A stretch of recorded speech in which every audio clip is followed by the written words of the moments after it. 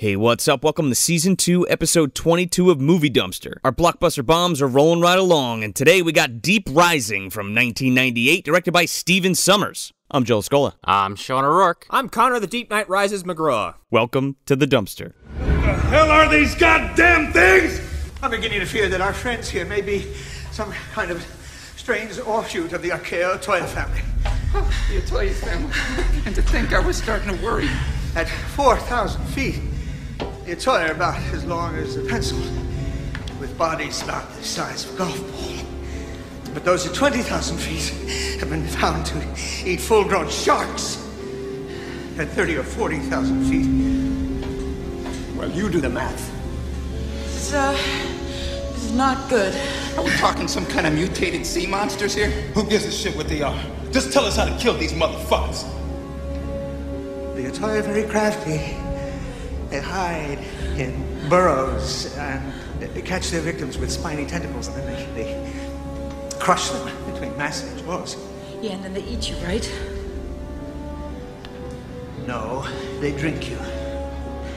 They drink you alive.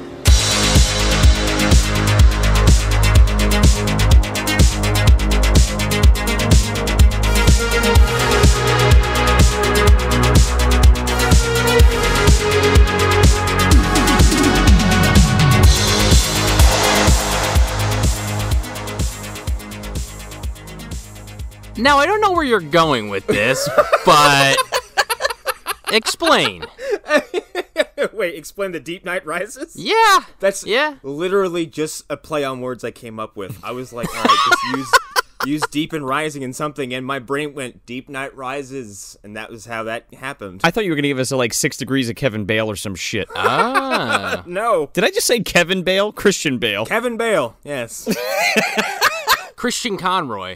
I'm not exhausted. Well, you remember the name of the movie last week when we were talking about Reign of Fire. Uh, I, I said uh, Dark Knight Returns, and that is not the same, uh, you know, thing. No, it, you know, I I heard it in the re- during the recording, and then when I listened to it again recently, I was like, I'm pretty sure I let that go just because I didn't want to be. I didn't want to be like, excuse me. I didn't even fucking There, realize. first of all, there's a there's a movie version of Dark Knight Returns too, Sean, Oh boy. By the way. and it's not Dark Knight Rises; it's animated. So, okay. Um how did you guys now now both of you have never seen this film before or Sean hasn't seen it specifically? Never even heard of it until you recommended it for this. I had uh I had uh only seen chunks of this on TV throughout my life and never in one sitting and but and so and, and having said that this movie fucking rocks like This movie defined 1998 for me. You mean it wasn't Godzilla? I, I, I went to go see Godzilla in the theater, but I didn't get to go see this in the theater.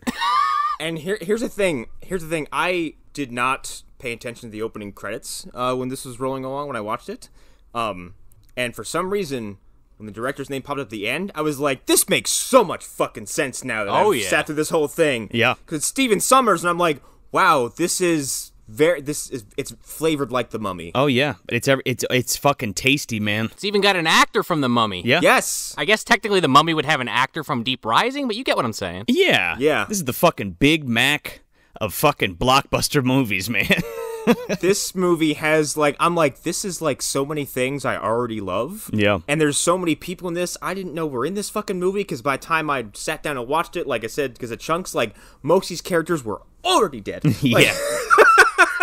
um this movie has a really sad story. I mean, honestly, anything that came out after Titanic, before Titanic came out of theaters, is a sad story. Well, yeah, but specifically for some reasons I want to go into. So I went into this blind and didn't look up a lot of trivia because I because I'm like I want this viewing of this to be pristine because I haven't seen this the whole thing the whole thing ever before. Sure. So like didn't know the didn't know the fucking director, didn't know half the people in it. Um didn't I don't know how much money it made, but I'm sure it fucking didn't do well. Well, that's why we're doing it on this show cuz Yeah, I know. fuck me. Wait till we get to that. My only knowledge of him, like, oh yeah, it's like a well-renowned monster movie that came out and at the theaters. Sure did. Took shit the fucking bed. So, so Joe, take the literal uh, shit you were just talking about out of my mouth and, and break this down for us. Do you want me to break down the plot or do you want me to break down the problems. Uh, this this uh this this sordid history you're teasing us with. Uh,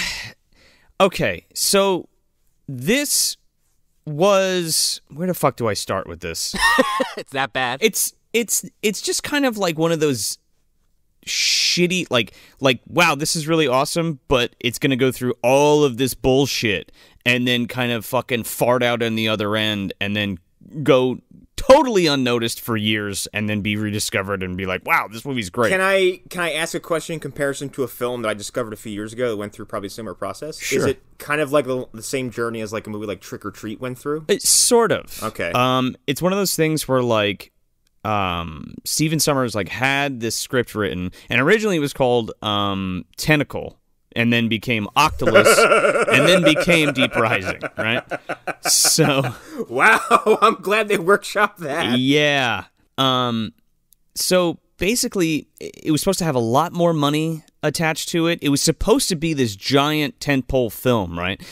They ended up releasing it like a a month after fucking Titanic came out. What the like Sean was saying. fuck? Um, and also it was supposed to come out the year before in 1997.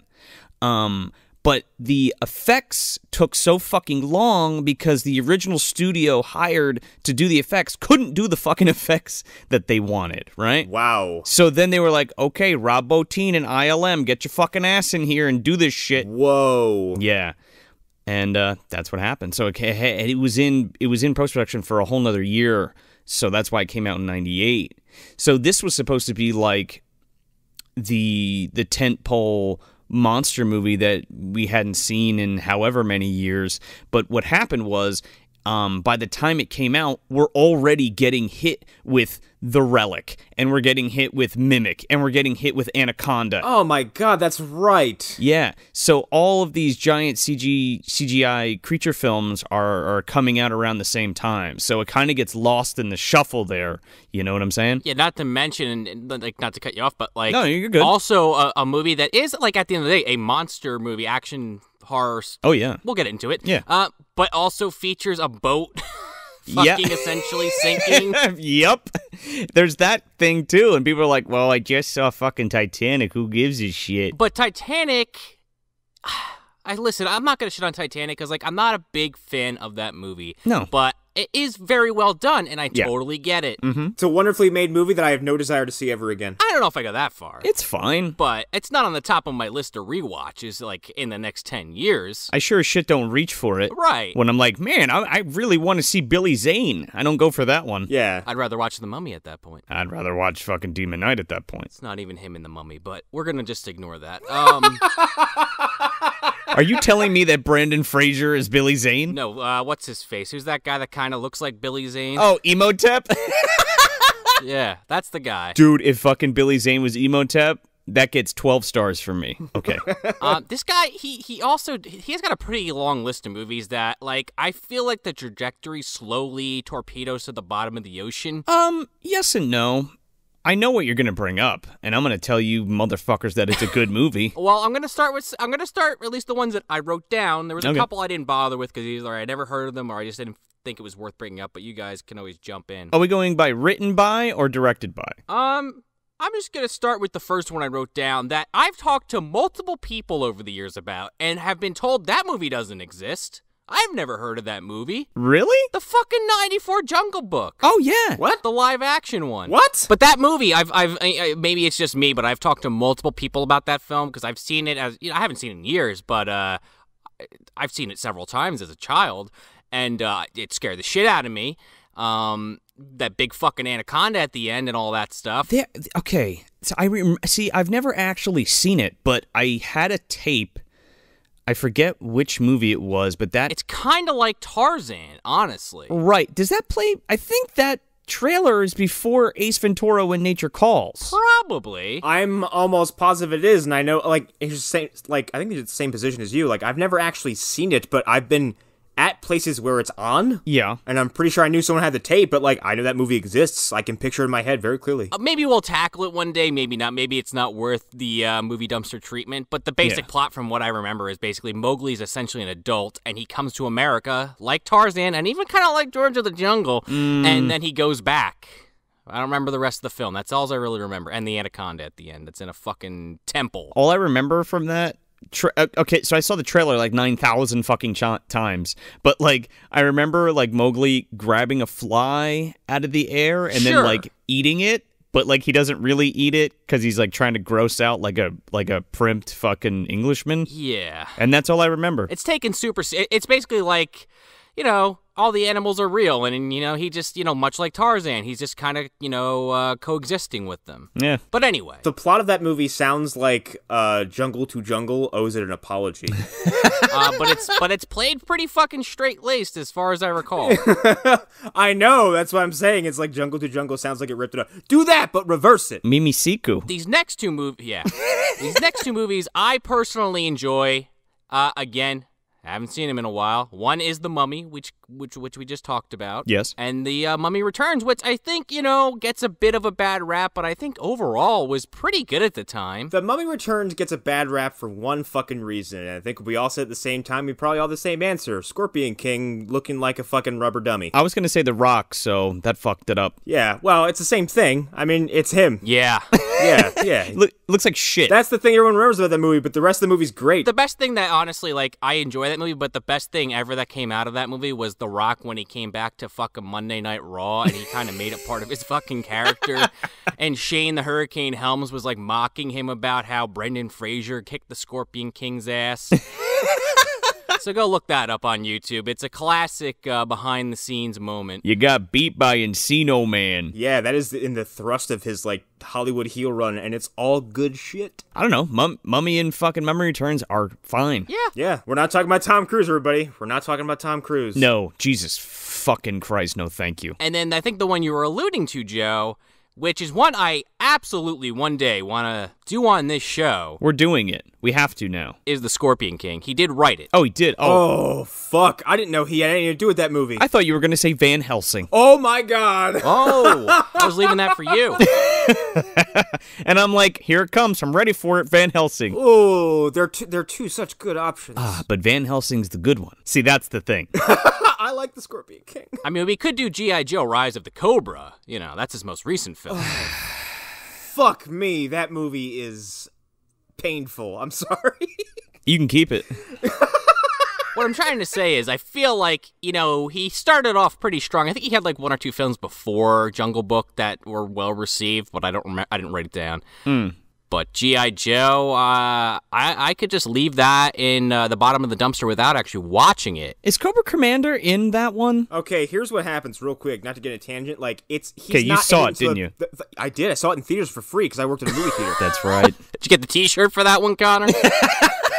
no, I didn't. Fuck that movie and its stupid face. Um, that movie's terrible. That movie here, Cobra shows up in the last like six minutes of that movie and oh, fuck you. and puts like a fucking mouse ball looking helmet on his head and he's like, "I am Cobra Commander," and then they immediately surrender to the Joes. Stupid. Yeah, and it's Joseph Gordon-Levitt. It's hysterical. Oh, that's right. That's I remember now. I remember that. Yeah. So a couple, a couple little thing, well, big things, but um, Harrison Ford was supposed to have the original main role of this of Finnegan. Wow, that fucking. and you could totally see why that was the case. I yeah, that that means they just didn't change the script.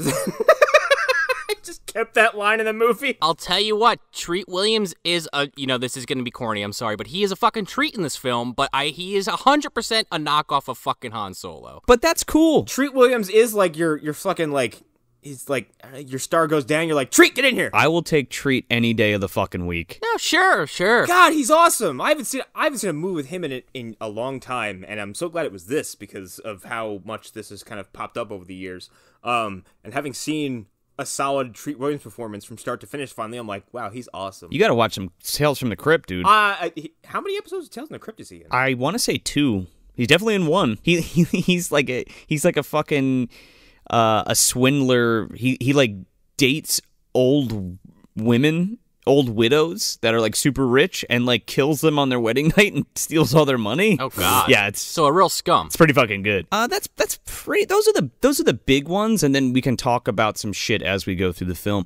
But um, but yeah. So Harrison Ford didn't take the role, and the budget went down significantly. Significantly. So that was like a huge hit from it right out of the fucking gate, right? And then the special effects shit was another hit from it right out of the gate, and then they fucking pushed it back. Or pushed it, yeah, they pushed it back to the next year, and then they, they missed the fucking proverbial boat. You know what I'm saying? Yep. Unfortunately for the movie, it performed like shit. But fortunately for us, we have this fucking gem of the the most delicious fucking gumbo. Whether you like food or you like cocktails, whatever you got going here. Yo, it doesn't. This movie has something for everybody. It kind of does. Yeah, like whether it's a, s- whether it's a sweet fucking sizzling pot of gumbo or a nice fucking perfectly made cocktail of shit, this is the film. It literally when when I think of blockbuster movies, this is what I think about. like, it's really hard at this point to get people who were in both the Street Fighter and the Mortal Kombat movies to be in a single movie together, so you can go, oh, oh, ooh. Oh, we're right in the middle of all that shit too. I, I think we're only we're only a year off of Mortal Kombat, right? Yeah, and like I have never seen the actor who plays Kano in anything other than Mortal Kombat. Oh, yes, so you seeing have. him again here, I was wait, have I? Yesterday's Target. He was in yesterday's Target. yeah, Kano. Yeah, remember he shoots at fucking Daniel Baldwin when he dolphin dives into that car. Sure does. Oh my god, that's right. Holy shit, I forgot all about him in that movie. He's Malcolm McDowell's henchman. I don't know. For some reason, it felt so fucking in the era. I was like, I don't know. Who gives a shit about Daniel Baldwin movies like this? I was like, oh my god, Kano's in Deep Rising. Like, Yeah, that's a good point. You kind of yeah. um, and it's got fucking uh, uh, I'm Star Lord. Who? Djimon Hounsou. Yeah, Djimon Hounsou's in this. There's a lot of people in this. I I I feel like we- we'd almost be better served to just break it down when we get to the scene that base that essentially introduces them all, which is like the first five minutes. Let them all pop up. Yeah. All right, so let's plot crunch this. So this is a prequel to Bushwhacked. It could be in some universes. I was gonna challenge you by saying it's either a prequel or a sequel to Titanic 2. oh, y- oh, I think it's a precursor. oh yeah. Or you could easily say it's the se- it's the Titanic 3, and this uh, this asshole is uh, Shane Van Dyke's character's fucking uh, grandson or some stupid shit like that. Let me tell you something. Shane Van Dyke wishes the fucking Titanic 2 was as slick as the fucking Argonautica, okay? Shane Van Dyke wished his effects looked even a fucking smidge as good as the effects in this film. Yeah, that too. this has actual water running through the fucking hallways at some point. Yeah. Yeah, it actually has people falling over railings when a collision happens. People in horrifying physical peril. Th- This one woman gets fucking trampled hard. Yeah. Uh, it's yeah, it could be. It could be a sequel to Bushwhacked. It could be a prequel to Mortal Kombat. Yeah, it, I, I think it's all of these things, right? And then the, and then the timeline just fucking splits because Hurt starts fucking meddling, and then you know it all go, you know all goes haywire. He's like, look at how many players I have in this chess game here. Let's just divert them all in this way, and some go this way. Your move, God. Yeah. Woody Harrelson's like, Let me tell you something. yeah. He is God. Let me tell you something. Don't be fucking around with Kano. You get me? Gotta go to a goddamn island and fuck with fucking fight Sonya. Fight that, fight that goddamn teacher from Billy Madison. I was trying to take a day off. Okay, I was writing a new pop-up funny, and you had to go fuck with everything again. I'm nursing a fucking hangover, and you give me this shit. It's either the bartender, John Hurt, or, you know, let's go all the way back, Rawhead. And one of those three is God in this universe. This is true. I think. Well, I think simultaneously, right? They're all yeah. Possibly, possibly. So, plot crunch of this movie. It's super simple and super sweet. Uh, we have a billionaire asshole who builds the world's most elaborate, elegant ship that only the fucking 1% can go on. and he can't afford to run it, so he hires a bunch of mercs to sink the ship, loot the ship, sink the ship, and make sure the fucking passengers are safely off the ship so he can collect the insurance money, right? So these mercs hire uh, this guy Finnegan who takes them to the ship, and that's about it. And then we get to the ship, and uh, turns out it's overrun by fucking sea monsters. What a Donald Trumpian thing to do to build a fucking ship. and then go, oh, I can't afford to run this piece of shit. Abandoned ship. Here's the difference Trump just wouldn't pay them, and that would be the end of it. Yeah, it's true. Yeah. He's like, come sink my ship. You owe us money. No, I don't. What ship? What are you talking about? What money? I don't know your money. I don't have any money. Uh, I didn't take out any sea monster insurance. sea sea monsters are real. They're totally real. I saw one the other day, and it told me that Hillary likes to burn children alive. It told me about her thousands of acid washed emails buried in the ocean 20,000 meters underground. The Atoya family is fake news. We need to build a wall around sea monsters. Build a wall around the Marianas Trench. so Put a lid on it. Put a giant lid on it. drop a giant rock into the Marianas Trench. We're gonna blow up Mexico and let it fall into the fucking ocean and block the Marianas Trench so there's no more sea monsters. I think that's how you unleash the Meg, Donald. I think that's what happens, right? He's hanging out down there with the with the with the Kraken. Yeah. well, that's how you destroy the planet by dropping a giant object into the ocean and flooding several countries. Oh my god. So he's I mean, that's Titanic too. We we we discussed it. Yeah. So so you're telling me with this one executive order he's releasing the Kraken, releasing the Meg, causing the giant super tsunamis that destroy Titanic 2 and the world and destroy Mexico. That's amazing. All in one foul swoop, man. One fell swoop, huh? Yeah, there you go. There we go. We just there you go, guys. Donald Trump will destroy the planet. Indisputable proof. All he needed was a small loan of two million dollars from his father, and he had, he did all that. It was only a small loan. and the magic of John Hurt to bring him a giant lid. Oh God, you know, you know, John Hurt's a, see John Hurt's a piece of shit, but I don't think he's conspiring with him. Just comes in like on a fucking helicopter, like Bruce Davidson's in there, just staring blankly into the distance. It's like cosmic helicopters to this giant comically sized lid. He opens up a fucking hole in the sky like Doctor Strange and drops a goddamn boulder out of it. Holy cow! He wanted a lid, so I made him a lid. That's about right, man. I think you just nailed it. Uh, so this movie opens with a I don't know. This it's like this underwater footage, like, and you're not quite sure what it is. Like, is it a submersible? Is it a monster? We also get this brief little rundown just for everybody who's not familiar with the Marianas Trench. Doesn't it allude to basically like uh the one it alludes to like pressures of the deep and all kinds of stuff like that, and doesn't it allude to to uh sea life below a certain point in the water. Yeah, it's, it's essentially talking about how you, you know this is in the South China Sea, and you know the further down you get, you know the you know people have sent fucking machines down there and they've never returned, and you know blah blah blah, deep rising. They, they can't reach the, the deepest parts of the ocean. So I guess what they're the whole goal here is to tell you that like you know there's so many unexplored places, especially in our oceans, that who knows what the fuck could be down there. And just by chance, tons of ships go missing in that vicinity for years and decades and centuries. Kick up that fucking Jerry Goldsmith score.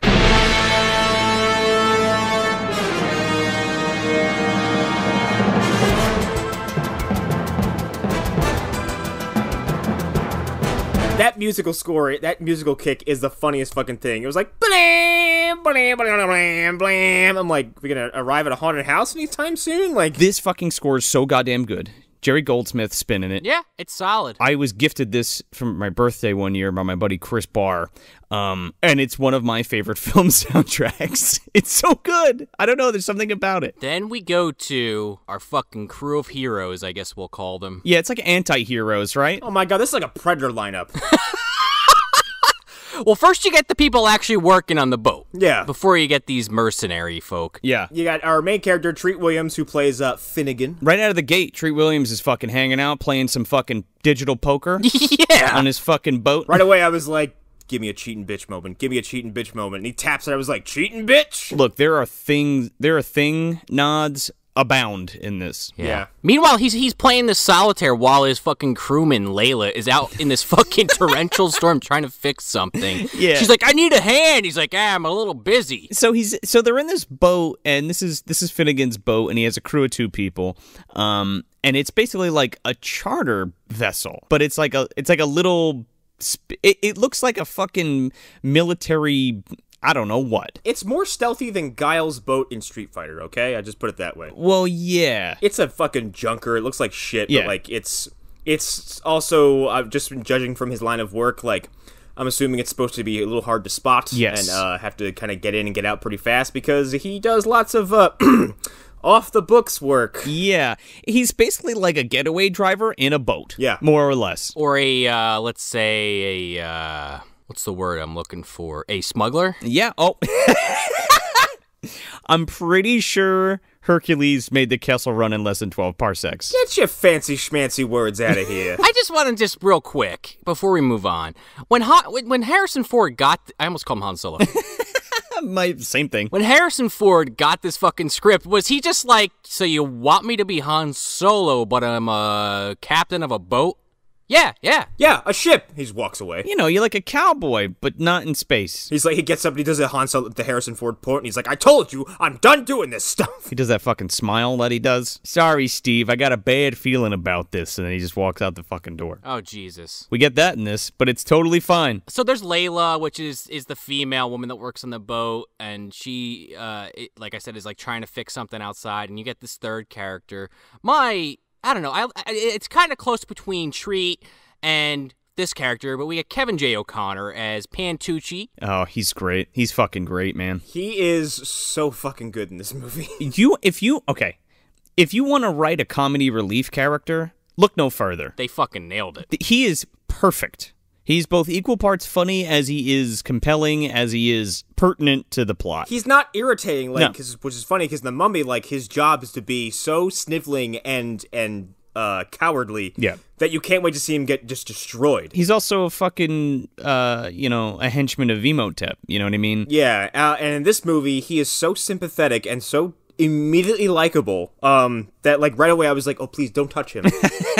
I mean, he definitely is. You know, he has one of those voices that I could see some people just right off the bat saying, "Ah, fuck this guy." But like me, I thought it was charming. Oh man, Yeah, he's got that going on the whole movie. ow, ow, ow, ow. can't even really do his voice, kind of, but it kind of sounds like this, man. I'm telling you. It's very weak sounding. He looks like he's constantly tired. Jesus Christ, he sounds like fucking Woody Allen.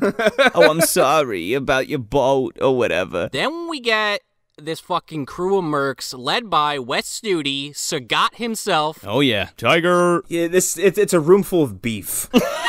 uh, yeah, Wes Studi uh, as uh, I forgot his character's name. Hanover. He makes them pretzels, man. He's probably just gonna get called Sagat the entire time, guys. So let's be real. Yeah. Yeah. Oh, it's Sagat for sure. That's yep. Uh, and then making his second appearance, right? Second, uh, Jason Flemyng as Mulligan. Yeah, Yeah. he's here, fucking Calabos himself. We get Clifton Powell as uh, Mason. who uh, like I've seen in so many things and can't off the top of my head tell you anything that's like He's like one of those characters that you've referred to in previous episodes, Connor, he's like one of those that guys that you've seen him in a ton of shit. he's a that guy. Yeah. And then we get fucking uh, Djimon Hounsou, which we already said, who is just most recently in what Shazam. Was he in Shazam? Yeah, he plays fucking. He has the power of Shazam before he gives it to what's his face. That's right. He wait a minute. I think you're right of that one. But he's also uh he was in Captain Marvel and he was in Guardians of the Galaxy Volume One. Oh yeah, well he plays the same character in both. Yeah. you also have like a, an early appearance of uh, Cliff Curtis as Mamooli, Yes. Yeah, I was just gonna bring that up. which I was kind of shocked by. Why? I don't know. I just I guess like he's one of those actors that I've only seen like in the last ten years. So it's like seeing him in this. I was like, oh wow, he was acting in '98. I guess he would be acting, wouldn't he? We we talked about Kane already. Trevor Goddard as fucking T Ray. Yep. Um, and there's one more, but I didn't get I didn't catch the name or the actor. There's one more guy. Well, he's he's it's Billy, but he's played by a guy called Clint Curtis. I don't know who that is. he doesn't even have a wiki entry, so I don't know who that is either. Um, I didn't look him up because I don't know. I didn't. anyway, Billy, he's he he'll get his shining fucking moment. yeah. So, so basically, all these mercs. So this is the our band of mercs, right? And uh, as Connor so beautifully put it, our fucking predator uh, gang. It so is, and they have a fucking gear ups like moment, and like they're all fucking exchanging quips and drawing weapons on each other. It's I'm like you're I'm like your predator mercs, and I love it. For how quotable this movie is, again, like it, it just hits all of those notes. Like, and it's not like all the quotes in this movie like aren't shitty either. Like, No, it reminded me of Aliens. Yeah, and Predator, and all of Yes! Uh, all those yesteryear fucking action films that are so good. So, so these guys, so these guys are on a mission to to sink this fucking ship, right? But we only we only find that out because our boy Benny here, Pantucci, is you know he he overhears a conversation they're having and he checks their cargo and they have fucking live torpedoes just in these massive crates. Hey man, if the cash is there, we do not care. That is uh, Finnegan's motto for those who need to know. Um, th- yeah, there's like, like I think he says there's like eight or nine of them. I'm like, good God, you're planning on a like just annihilating this ship. There ain't nukes or nothing, man, but the blast will sure make your butt pucker. Like every fucking word out of this guy's mouth is gold. so yeah, so he's so he finds the missiles in the in the cargo, and they're not supposed to they're not supposed to fucking be fucking around. And e- even before Sagat's like, "You got any questions, Finnegan?" and he's like, "Nope. Uh, I shut up and do my job, so I shut up and do my job. See ya." Uh, so Pantucci's like poking around, finds the fucking missiles. Fucking Djimon Hounsou, his name's Vivo in this movie. He fucking grabs him and throws him into the fucking the. God, this sequence is hysterical to me because it just results in like it. It's like grown up bullying. Oh yeah. Well, one one dude even says he's like, can't believe his shit. It's like being back in high school. They throw this motherfucker into. Uh, I don't even know what what it, the brig, I guess, Yeah. and uh, I, don't, I don't know parts of his ship. I'm stupid. Oh man, my dad can never listen to this episode. He would shame me if I if I said that sentence out loud. Wherever they're fucking hanging out, the whole the whole gang of uh, mercs. The basement. Yeah, the bottom of the ship. the basement of the ship. So he, they throw him into the fucking. They throw him where all these guys are hanging out, and they beat the shit out of this dude. They, it's they they just swarm and start just dropping fists on him. It's the funniest looking fucking thing. Oh man, fun fact. He so uh, Kevin had like a, a bunch of uh, padding all over him, right? And these dudes were really like punching and kicking him.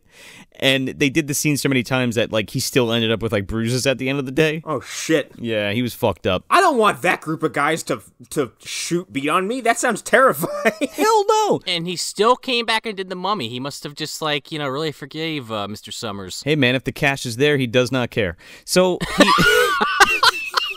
Fucking A. So so uh Leila and Finnegan hear all this happening on their on their headset. And Leila's like, "All right, well, you're to go down there and help him?" And he's like, "Fuck no, those guys are dangerous." I love this character so much. Again, he's like the best anti-hero like ever, like ever. hey, absolutely not. He's on his own. Yeah, fuck him. He did it. Well, then then Treat finally gets up and he comes in with this fucking like three pronged harpoon gun. oh my god, yeah. And and it's a shot of fucking Wes Studi just standing there about to like blow uh, Kevin J. O'Connor's head off. And these fucking harpoon bolts just hit the wall behind him, and Treat standing there like, "Yeah, we can't be doing this. I kind of need that guy." You beat my engine man to death. It's going to take us a hell of a lot longer. yeah But the pisser is they all take all their guns that they're about to shoot fucking uh, Patucci, Pantucci with, and they all aim them at uh, fucking Finnegan. Yeah, but he's got he's got balls of fucking platinum. oh my god. He's like, yeah, it's not a democracy, my vote. So uh, yeah, let him go. We don't vote here. Yeah, he's like, one more time for the hearing impaired. And he fucking clocks fucking uh Manuli in the face to uh, uh what's his face? And then fucking points the points the gun at one of the dudes and then they all draw their weapons. It's a fucking tense scene, man. Yeah. Um anyway, he gets Mantucci out of there. And then as he's walking back up the stairs, he goes, "That's one more year off my life." Yeah. I love when when uh Mason comes up with with Hanover and he's like, "Oh, you you Finnegan, man. I heard a lot about you." And he's like, "Oh, my reputation precedes me." He's like, "Oh, like a fine." Oh, he goes, uh, "He goes, uh, I thought you'd be older." And he goes, "Oh, like a fine wine. I'm aging gracefully." He's like, "Fine wine, my ass. More like a fucking keg of beer to me." Uh, yeah. It's great. Then we go to this fucking cruise ship. Oh, we sure do. I'm so glad we only spent a few minutes with it. Like I'm like the way they introduced this the the passengers and everybody else is like, look at all these red shirts. Red shirts, rich fucks. Oh my god, I'm just like, look, it's the one percent, all in a boat. Yeah. all in one boat. These are the parents from Baby's Day Out, fucking times a hundred. oh man, I hope that I hope that's canonical because fuck them. Yeah. Well, that's where they were when the baby got taken. When Joey Pants fucking took the baby. Yeah, that's it. They're on a fucking cruise ship. So Anthony Heald, aka Dr. Chilton, doing his fucking uh, speech about how he's so happy all these fucking one percenters could be on his boat. Yeah. And I always had a dream that. Uh, I ever since I was a little boy that I could build a boat that was only for the super mega ultra rich. he sure does. like, give me a fucking break, buddy. That's okay. This this is where all those packages are coming from that arrive exactly on ten o'clock because there's ten thousand dollars in each one, Oh yeah. and Daniel Stern has to collect them all because he's on the boat. Yeah. I think you cracked it. That's. I couldn't quite figure out where you were going with the Bushwhacked prequel thing, and now, now I've had I have enough breadcrumbs to get back home. Sure does. There, he- there it is. Do you have enough breadcrumbs for one Famke Janssen, who makes her triumphant debut in the MDU? Oh yeah, man. My God, this woman is like timeless. This is like right around X Men, man. Yeah, like we're only a couple years off. Um, X Men was 2000, wasn't it? Sounds right. Yeah, so we're we're we're almost there. But like, this is the movie that I fell in love with her with. I was like, who is that? She's amazing in this movie. Yeah, and she's great too. straight up. She was just in Goldeneye. What? That was 95, right? Oh, I keep forgetting she was Xenia. Yeah, she plays the chick that like squeezes the dudes to death with her legs. Z- uh, Xenia Onatopp because that movie couldn't resist one more Pussy Galore esque pun. Oh yeah, well there you go. She is one of the better, I will say, actor or not actor. She's one of the better characters in this film. For sure. Yeah, because I don't feel like she's ever a damsel in distress. Like she's No. there in her own accord, and she's kind of like she's very capable of handling herself, and she's very fucking funny. Like she definitely, you know, later in the movie has a bit of a team up with Treat, but it's predominantly like Survival. two sided. Like they're both defending each other. Yeah, but she's a fucking felon, dude. She is a criminal in this film. She's Catwoman without the fucking costume. yeah, she somehow managed to get her ass on the fucking one percenter ship and to to rob them fucking blind. is why she's there. Well, because Chilton gives this fucking speech, and then she comes up and she's like talking with a fake French accent, and she bumps into this captain and just steals his wallet, no problem. Yup. And I guess this guy just keeps his security clearance card in his wallet because uh, she gets it and she goes to open the vault like in the next scene. Yeah, and but they catch her, and they end up like throwing her in the fucking brig. Like, so Canton's there, the, uh, and he's like, uh, Canton being the uh, Chilton. yes, Chilton is Canton. Canton is the proprietor of the ship. Canton is Chilton. Chilton is uh, Einhorn. And then all of a sudden, Famke Janssen's in a shower, burning her fucking clothes.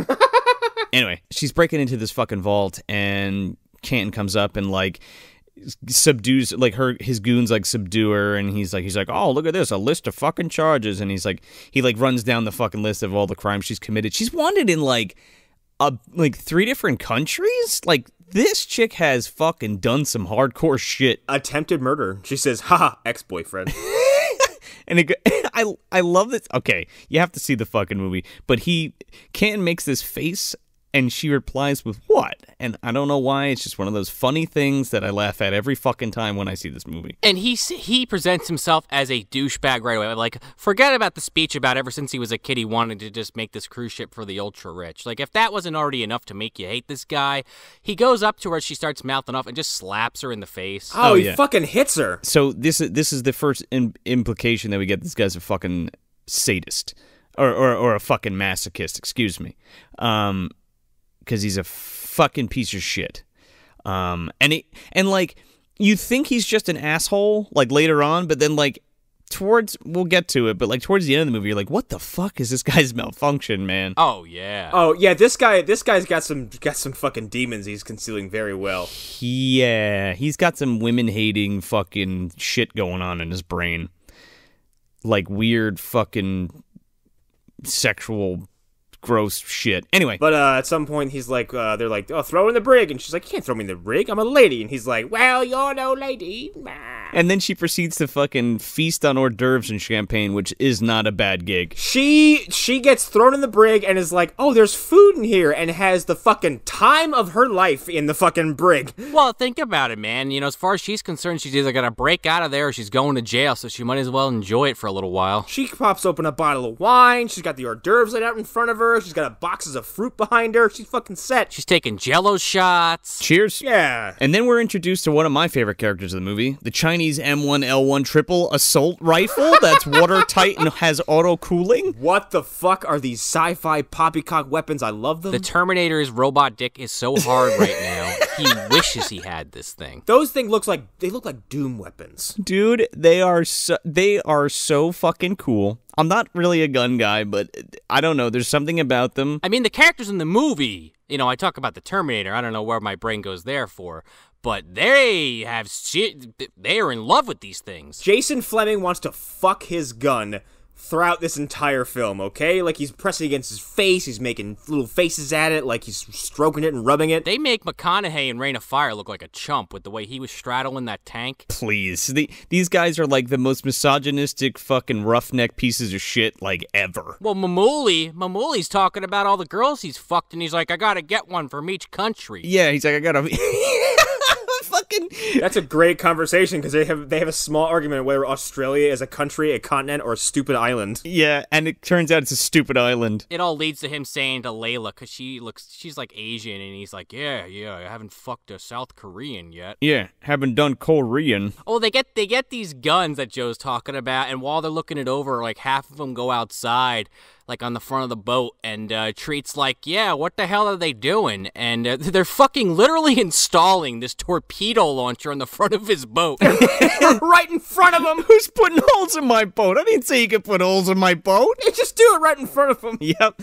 And then fucking Sagat comes in. He's like, "All right, we'll take over from here, thanks." Don't ask any questions. I'm, hey, man. I would have loved to see, and I get that the rest of this movie wouldn't work if this actually happened, but I wanted to see like them fire one of these fucking things off the front of his boat. Right? Oh man. because as as they're appro- because the whole thing is Treat is being paid to bring them to a specific location, but he doesn't know the location. Right. And because he doesn't ask, We spoiled it a little bit, but it's easier just to tell it that way. they're going to the boat. Is the point? Right. We cut back to the boat and we get that fucking submersible uh, view again, coming up from the the bottom of the ocean. Don't we get the uh, the the the technical mess first? Oh yeah, you're right. My bad. Yeah, a pair of hands like.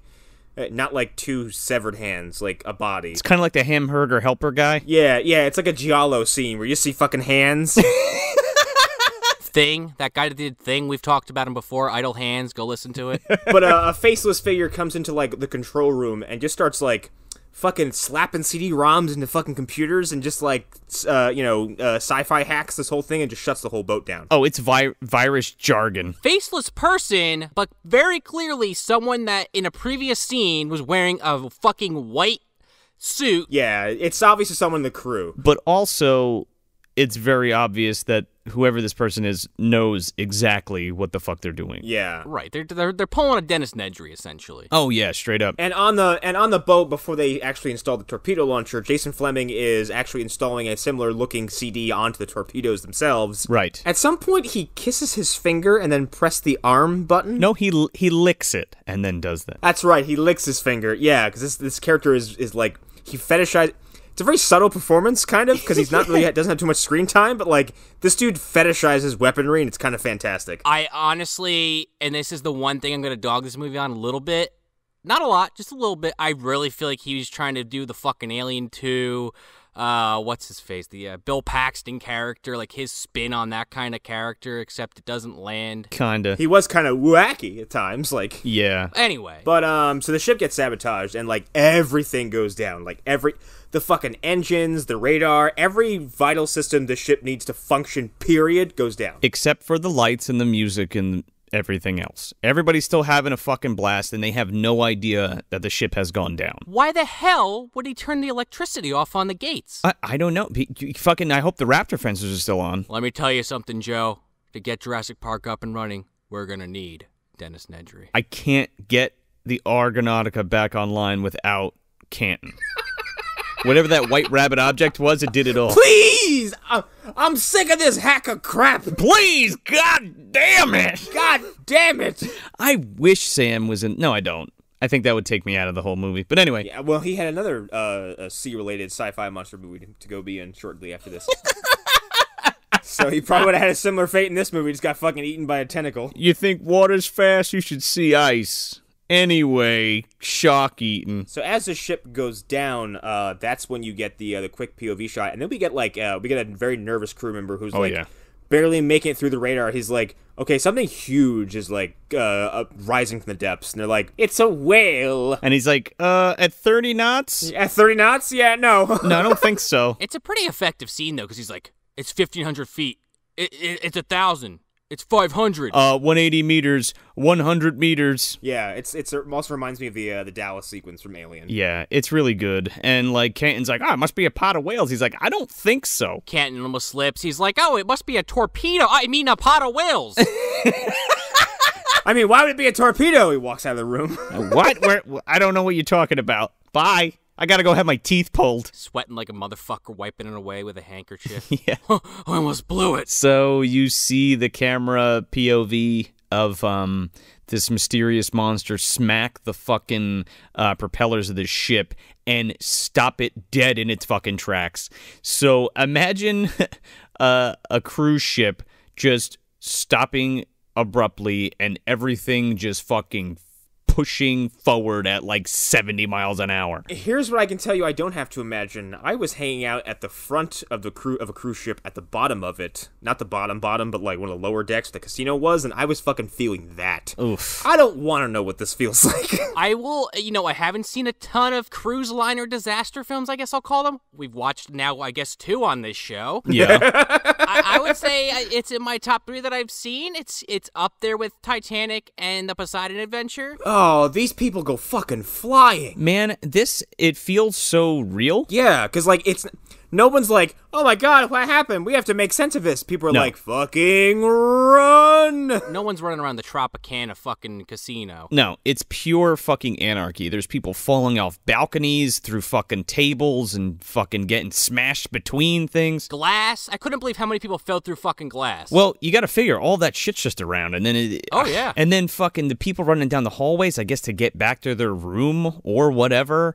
Um, there's this sequence where we get like these fast cuts of these people running down this hallway, and this fucking woman gets trampled and her face gets stomped into the ground. it is so well done. Yeah, it's amazing. It looks so convincing. I for a second I was like, oh my god, was that real? Like you feel it. She looks up at the camera so you can see her face very clearly, and then a foot comes in the back of her head and just smushes her right back into the carpet. again, I think already Sean just said this, but like this is probably one of the best um panic disaster on a cruise ship scenes. Yeah. And it's like 90 seconds long. Yeah, it's pretty fucking long. We even get something better than that because we get a scene that a movie we just did recently aped hardcore. it had to have. Yes. Mayor Stahl is fucking saying hello to us, guys. because this poor woman runs into the fucking bathroom.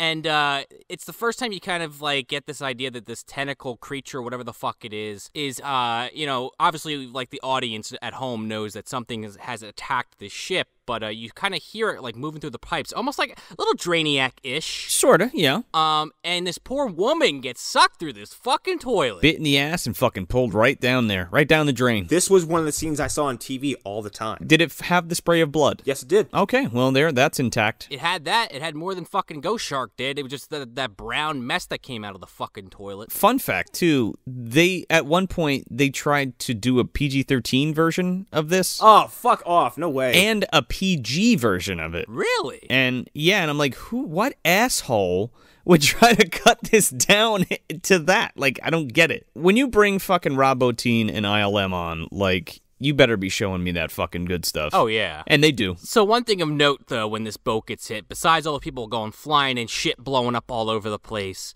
uh, a bunch of the boats, the lifeboats, and I guess they have speedboats. I don't know if they're all supposed to be doubling as lifeboats or they're just like additional transports, fall into the water. Yeah, they might just be like luxury boats that you can rent off. I mean, we're t- again, we're talking about Right. like super uber rich motherfuckers luxury boat. Like stop at a coral reef and then fucking hang out on the speedboat. Exactly. Like I feel like they anchor and they rent the fucking speedboat and they like go out. Yeah. But it's important because the next scene involves said uh, speedboat. Sure does. yeah, because they're they're uh, Finnegan and his crew are riding.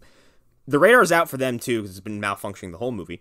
Um, and it's like it's fucking storming outside. Uh, they can't see shit, and they ram right through one of these fucking speedboats. Dude, I I was uh, the first explosion with the fucking cruise ship. I was not ready for how good it was, and then this explosion, I, my fucking jaw was on the floor. and it's really really well done. Yeah, this boat flies into fucking pieces. Yeah. it flies into pieces, and Finch uh, Treat's boat goes fucking kablooey in like ten spots. Yeah, there's a huge hole in the fucking where the engine room is, um, and also right where the um the engine room and the and the cargo hold are like the same fucking room, right? Yeah, or, or very close to each other. Same deck. Um, none of the torpedoes get hit, thankfully, which one of the mercs points out. But Pantucci and Treat and uh, Leila are all looking at it, and two of their main engines are fucked. and uh, they're they're just basically like, yeah, you know, we can maybe run them for like 15 minutes, but uh, we can't really do much with them at the moment. Yeah, and then Treat's like, "What the fuck? How did we? There's no way like the speedboat could get out this far. Like, where the fuck are we going? How did this get? How did this happen?" And then that's when Sagat's like, "Yeah, uh, we're going to this cruise ship, so shut the fuck up." And they commandeer the ship, and they and they kind of force uh, Mantucci to like fix it enough so that they can get to uh, the cruise ship. Pantucci's like, um, you know, he fixes what he can, and then he like tells Finnegan like all the bombs are live and shit. So he did. You don't know. I can't. I can't do it. yeah. well, then they, they they finally get up to this boat and they see like it in the distance with like essentially like only the uh, emergency lights on. They're like something looks off, but uh, we're still we, we're still doing this job. And so they uh, they fucking approach and and uh, Wes Studi just goes to to uh, Finnegan. He's like, yeah, uh, I'm gonna need uh, you and uh, the Grease Monkey and uh, Treat Williams is like, no, no, we, we, we stay three together. We're always together. He's like, pulls a fucking gun on him. He's like, yeah, no, we're doing it my way now. And he's like, okay. You'll be sticking with me. So they take him on the boat to get. I think they didn't they bring they bring them with them so that they can get the parts because there's a machine shop on the boat. Yeah, because I think I think Joey uh, uh, Joey makes a point to say like, yeah, if I had some time in the machine shop, I could bring some stuff back. Yeah, and then they can do their job and get the fuck out of there. They leave Billy with Leila on Treat's boat, and they all go into the other one. Yeah, Yeah. But th- I think that's a pretty good fucking reason to get Treat and uh, Pantucci off the boat to get on the. You know what I'm saying? Yeah, I don't feel like I don't I don't feel like anything in this movie feels feels really contrived. No, exactly. I guess that's what I'm saying. Yeah, no. It's very natural. Also, Treat drops a fucking banger of a line when they're getting on this boat because they have like fucking like rap grappling hooks. They have grappling hooks, so they shoot onto the boat to get in. And Treat goes, uh, "Oh, what are they gonna attack us with? Margaritas and tanning oil? Because they have these fucking machine guns." They're- He's like, they're passengers. What are you doing? I don't think you're gonna need your guns. Yeah, he's, that's what he says. Um, but yeah, when they get in there, it's a fucking, for lack of a better term, it is a ghost ship. they kick the fucking door down and everybody's gone and they come barreling in screaming. Yeah, I do love when they get up though after like the grappling hook sequence, and Joey goes, "Well, that was fun." um, but yeah, they kick the the doors open to the ballroom, and it's just like they're like, "Rah!" Yeah, everybody freeze.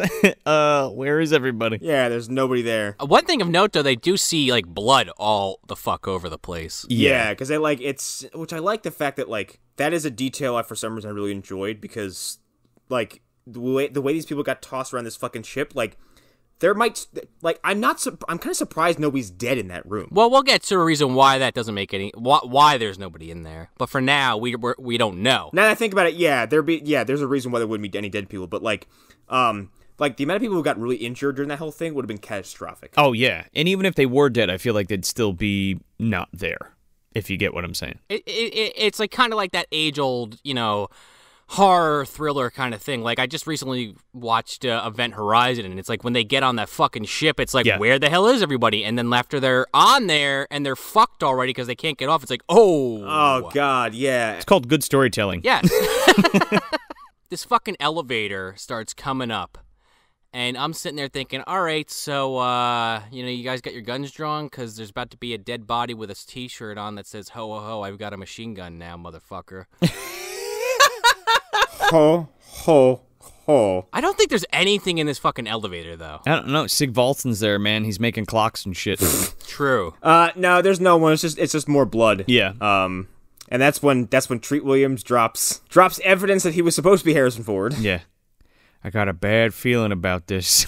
I do like that it, he's like they set it up. He's like, I have a bad feeling about this, and it opens. There's nothing, and he goes, and he like sighs. He's like, oh, good. Like, then a firework or some shit or Slimer on the side fucking makes a noise.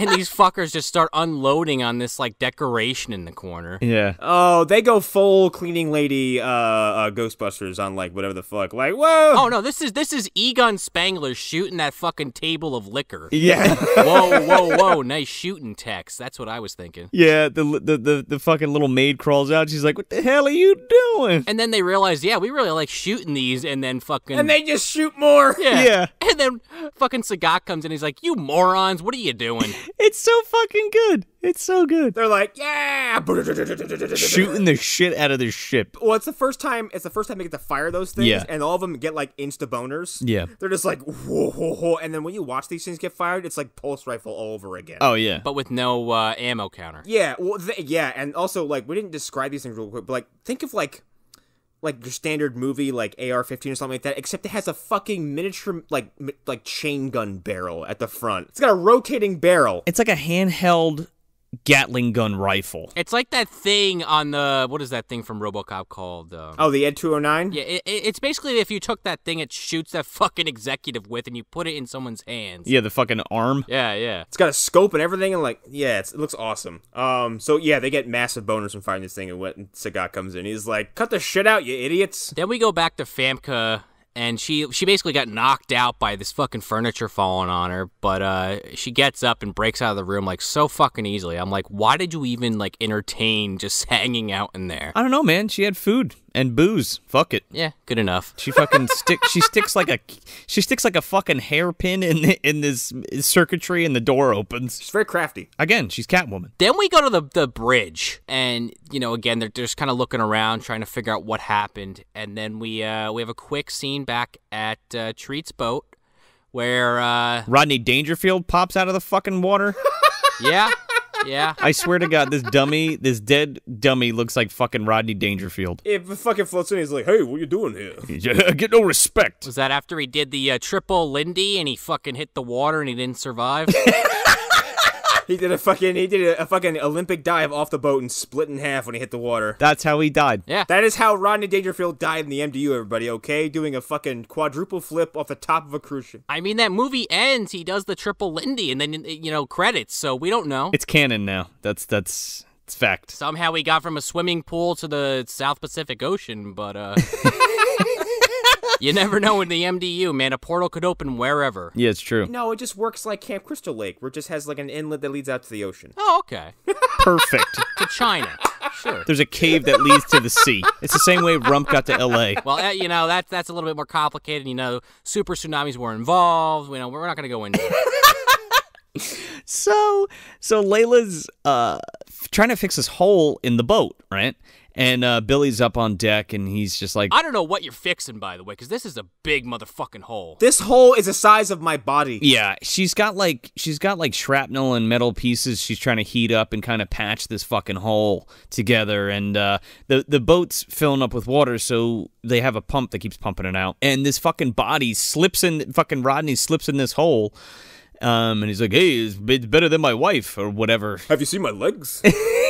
It's some insert Rodney Dangerfield joke about his wife and a giant pussy. he's like tugging his collar while he's like floating in, and he's all fucking dead and bloated. He's like, "Hey, how you doing?" So I was going down my wife the other day, and I said, "Jeez, you got a big pussy. Jeez, you got a big pussy." And then I float through a fucking si- the hole was the size of a pussy. You get it? We get it, Rodney. That's what happens when Shane Black writes your material. Oh, Jesus. She's trying to fucking seal up the boat, and um, body comes in, and she ends up getting fucking uh, pulled out and killed. So these creatures, little spoiler, they're like ten- they're like tentacles, right? I think we've already mentioned it. Yeah. You don't see it, but she gets grabbed from the ass and gets pulled out this fucking hole in the boat. And this fucking dummy like smacks its fucking head on the hole and shit. It's very like it's super visceral.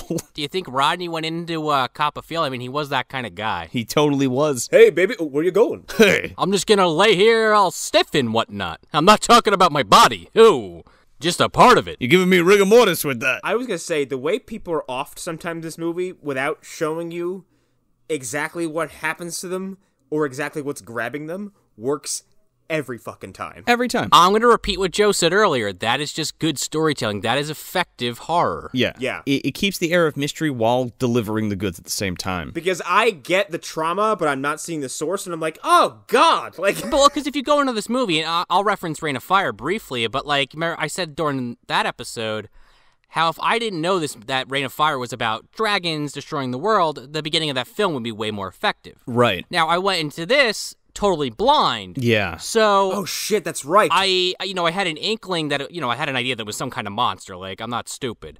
But I didn't know what this fucking thing was for like another 15 minutes. Oh man, this is that I was so excited because we were talking about this in the chat, you know, before we did this, and Sean had not seen any trailers or knew what the fuck it, exactly the movie was, and I tried so hard to make sure that you watched this fucking totally virgin, and I'm so glad you did. Yeah, you know, just like a virgin pina colada, it, it was uh, an effective way of going about it. it. It definitely increased my enjoyment of the film overall. So yeah, uh, Leila dies, and then we go back to the boat.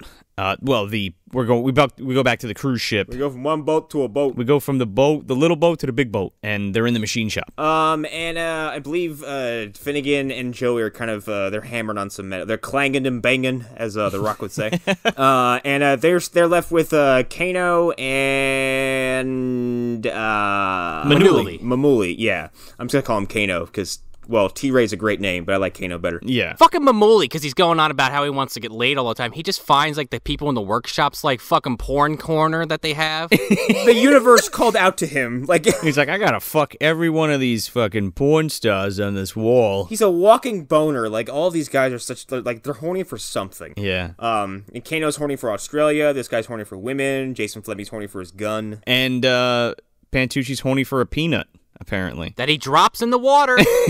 and Treat Williams is just like, what the fuck are you doing right now? Peanut? And he's like, yeah, peanut. and he drops a fucking peanut in the water. uh, there's this great exchange between Pantucci and fucking uh, T Ray here. Because T Ray's like, well, maybe maybe they all jumped overboard. And he's like, and Pantucci's like, holy shit, he's right. He's like, you know, you're right. He's like, yeah, I could just see the last asshole in, like, well, Jim, we forgot the lifeboats. I guess we're just gonna have to swim for it. In the middle of the ocean. Yeah.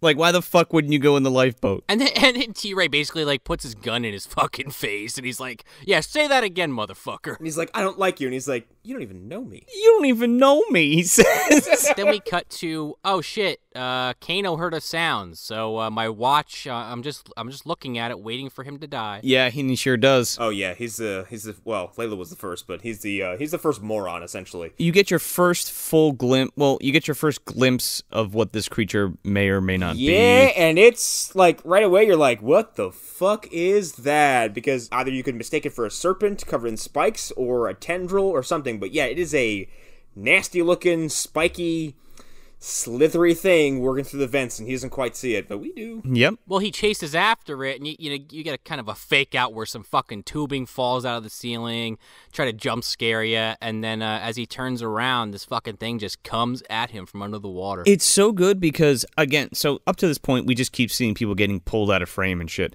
but it works every time. Like, yeah, but like when he gets when when Leila and him both get pulled out of frame, your brain is filling in a gap because it's not just the obvious. Like like Leila, you said like there's a dummy that you see for a split second like fold in half or something like that. Yeah. and with him like he gets yanked between like two pipes that you couldn't fit through as a regular like no. on your own will you couldn't fit through and you hear it it goes like boom and he goes right fucking through him And there's a flash of blood on the ceiling, and then like his gun goes flying and lands on the fucking table where Pantucci and Finnegan are working. Like you know, he was instantly pulverized. Yeah. Um, but reality though, he's fine. He just lost an eye. He's hanging out on an old fucking creepy boat with a sorcerer. He's gonna go hang out with Goro and show Goro how little manners he has. Fucking eats a turkey leg. he, uh, you know, he swam in the ocean and he landed on this fucking island about a mile out. Yep. Yeah, it could be the same island. We don't know that. It could have been Goro walking through the forest. It's Shang Tsung's island for sure. So yeah, uh, T Ray's gone. And Mamooli's freaking out immediately, which, to be fair, guy's an asshole, but I don't blame him. Yeah, but he fucking blames Finnegan and Pantucci. He's like, "What'd you do to him? What'd you do to T Ray?" He's like, "What the? Are you fucking crazy, dude? It wasn't us." Don't they react like, "What are you?" Yeah, they're like, "What are you out of your mind? We've been standing right here the whole time." Yeah, while you were oogling your fucking porno corner. yeah, It cuts away because he, he does get grabbed. We'll, we'll come back to it briefly because there's there's a scene in between here that I feel like you kind of have to go a little bit in order here for it to flow properly. Yes, I agree. Because you go back to the vault and, uh, you know, Famke, who you we haven't brought up yet, but her name in this movie is Trillian. Yeah. And uh, she's at the vault basically trying to continue what she was doing before she was caught. And uh, as she goes to open it, Wes Studi and uh, a few of the other mercs fucking come in and confront her. And I'm like, yeah, what the fuck? Yeah, she takes he takes the card and he like chokes her up against the wall, and she's like, "Where's the other passenger?" She's like, "I don't know, sleeping." Sagat pulls a fucking pistol on her, and she's like, "No, I really don't know." Yeah. So then fucking Vivo, uh, uh, Djimon Hounsou fucking goes up to the fucking vault, slips this fucking credit card in, and opens the vault. Oh my god. And he's like, oh, money, money, money, money, money. And the fucking vault opens, and Canton comes out fucking blazing with an axe and plants it right in his fucking forehead, and he is dead. Uh, okay, you get either like one of the best like practical uh, wound effects I've ever seen, or a fantastic dummy because this thing hits his forehead It's Probably a combination. and his eyes and his eyes pop out of his head and his mouth opens like what's his due from the stuff. Chocolate Chip Charlie. He's like ah, and I'm pretty sure that was a that definitely was like a prosthetic with the fucking prop axe in his head. it looks so fucking good. Oh, it's great. Like you see it get buried in his forehead and he goes right down. Canton's like, oh shit. Yeah, Canton goes, oh shit, gets out of the way, and then fucking uh, Jason Flemyng and uh, uh, Wes Studi blow the remaining passengers or crew members in this room away. Yeah, they just fucking destroy them with these fucking guns. They add 209 both of them. Oh yeah, yeah, exactly. yeah, the only ones that are in there that survive are, you know, Chilton and the fucking captain. Yeah, Captain Atherton. Who is very bloody, crispy British, I must say. Jesus Christ, son of a bitch. I really thought this captain was gonna last longer than he did. Just putting that out there. As soon as like the disaster happens, actually, kind of seemingly before that, like he's not willing to put up with uh, Chilton, uh, Canton shit. I almost called him Chilton. Yeah, I'll be calling him Chilton all night. he wasn't willing to put up with Canton shit, and now he's especially not. And he's Yeah. like constantly telling him to shut up and calm down. um, so yeah, while they're arguing, uh, and basically the Mercs take uh, those two under, you know, those two and uh, Famke under their wing, let's say. Mm, yeah. It cuts back to Mamooli getting grabbed like fucking jaws and being like dragged back and forth, back and forth. Yeah. this thing smacks him around this room like it grabs him and it's and swings him into a bunch of bullshit. Yeah. A bunch of giant pipes. Yeah, pipes and metal nonsense. Like he gets throttled, um, and then pulled through, um, like a vent or something. Yeah, and while while this is happening, it's it, Canton's doing like a voiceover saying, "I thought it was one of them, one of those things." Yeah. He's like, "They they they attacked the ship. They're all over the place." Haven't you seen them?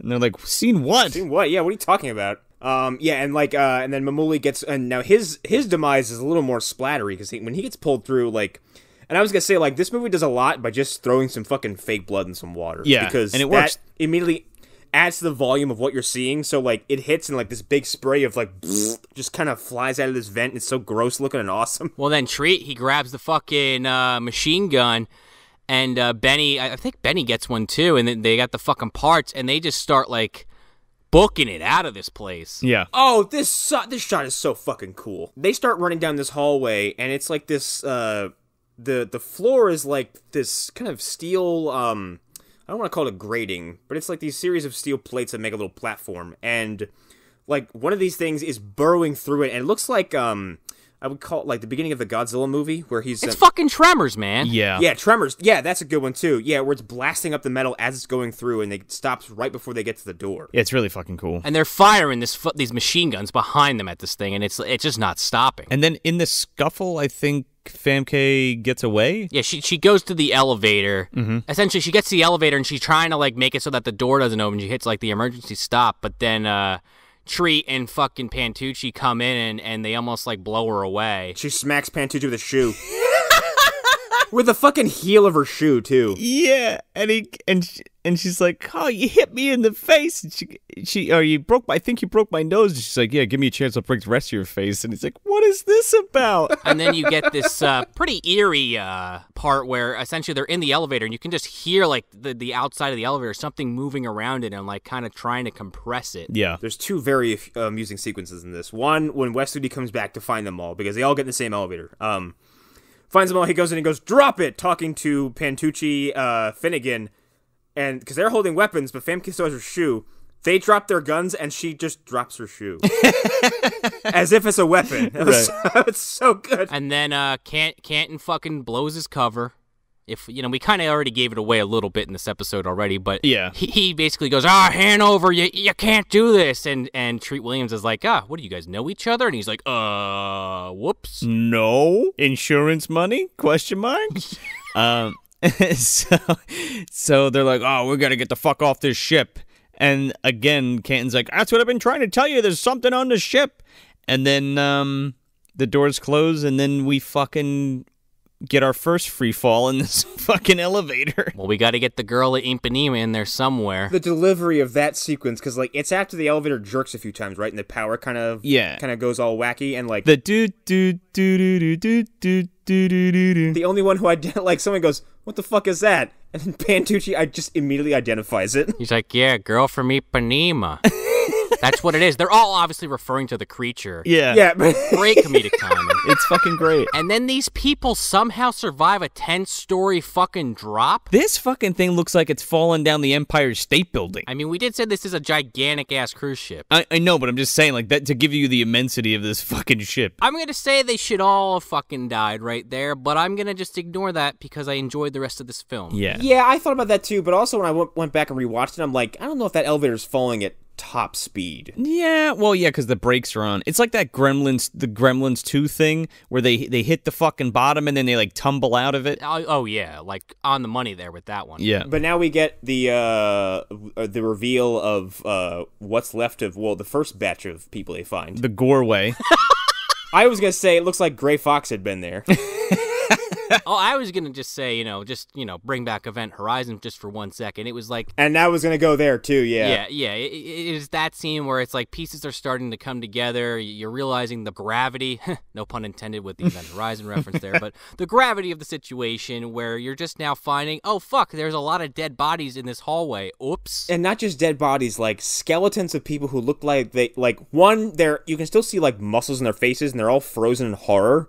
Um, but it's all skeletal remains of people who've been sucked dry. Right. Yeah. And I think we, we might as well just talk about this now because I feel like we're about to get to the point where the creature is unofficially revealed. Yeah. Yeah. But like just picture a fucking Twinkie except you only sucked out the fucking cream part. Yeah.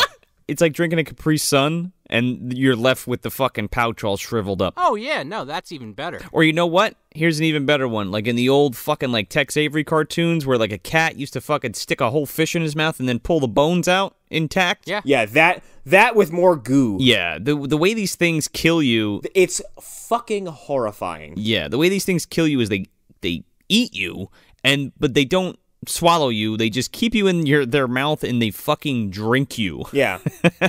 and then spit out your fuck all the shit they can't digest. they suck the bones dry. Well, not dry, dry, but like they just like once they're done with you, like they just kind of spit out this like.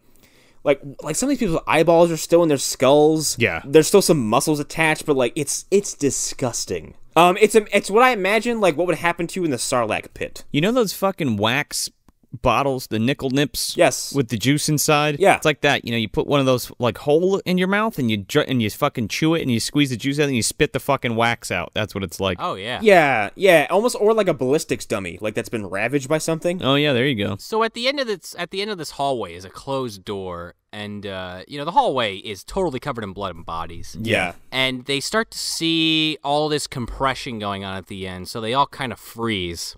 And after about a minute of this happening, it stops. So they they start walking slowly, like in that direction, and then um fucking Mason steps on a skull because I guess he's just not paying attention to where he's going, and this thing freaks. And then these two, you see like uh these.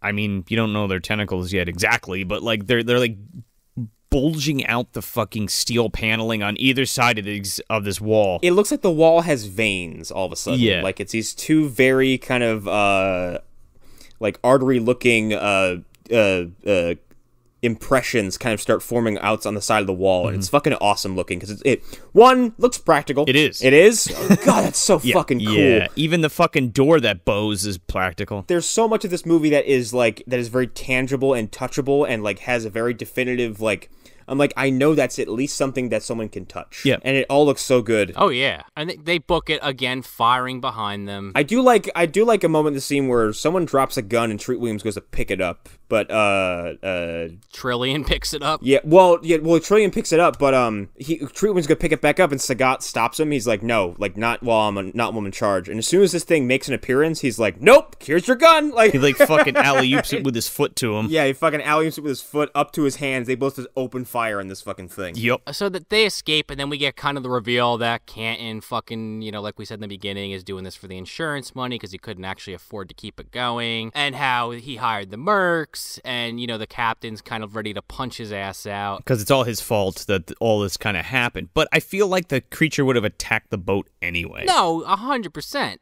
But we get we get this great scene where Pantucci's kind of like off to the side, freaking out, and this like white goo just starts fucking dripping on his back. Yeah. And you're like, okay, what the fuck now? And it is It's so literally fucking good. This tentacle, the tentacle's maw salivating. Yep. About to eat him. He turns around and screams and then smacks this fucking tentacle and it like and it like and it like sucks up into the fucking rafters and then they all look up and they see this fucking tentacle like undulating up in the, the rafters and you see this fucking hand like uh uh uh impression like kind of come out of the side of the belly Oh my god. and then they just open fire on this fucking thing, and like the stomach rips open, and fucking Billy spills out onto the fucking floor. Dude, he looked like Gus Fring in fucking Breaking Bad, man. Like straight up. You don't see it right away because he he falls, and first it's just like this. Most of his clothing is gone he's being digested, and like his skin is all burned on one side, and like he's all blistered. He's covered in goo. Um, and he turns around, and half of his head is missing. Yeah. Um, like, but, like it's just like he's got one of his like the the skull is exposed, and like basically the top chunk of his head is uh like top right chunk is missing. I feel like this is one of those f- the first times that we really implemented like the part practical, part green screen makeup. Yeah, maybe. Yeah, I could see it. You know what I mean? I was like, Where- it looks amazing. no, because it's all practical, but like the parts of his head that are missing were obviously like chroma keyed and like yeah, So that's one effect that's really fucking cool that I think is one of the first instances of it so far um eh, like in history and then like that scene where I just that I just described where you can see like his hand in the belly like Anaconda does the same exact fucking thing and I think it comes out the next year or the same year I could see that. I mean, Anaconda had that whole thing where it's like eating and digesting people, and like this is what they look like after they're regurgitated. So I could kind of see them like looking at this movie and be like, we got to steal some of those ideas. exactly and those two scenes are like nearly identical as far as like how it happens yeah, but this one didn't end with someone winking and then dying. this is true This is way better. big giant big baby snake baby bird big baby bird snake There's a snake gonna keep in my pocket for no reason. Oh, that's yeah, that's more of it. It's like I haven't seen it in a while. He fucking talks like this, and you know, oh, the fuck, that big fucking snake. He's always got his head back. and just- Oh, you, uh, Jennifer Lopez, baby bird, or whatever. Fuck you, monkey blood. So they unload on this motherfucking thing.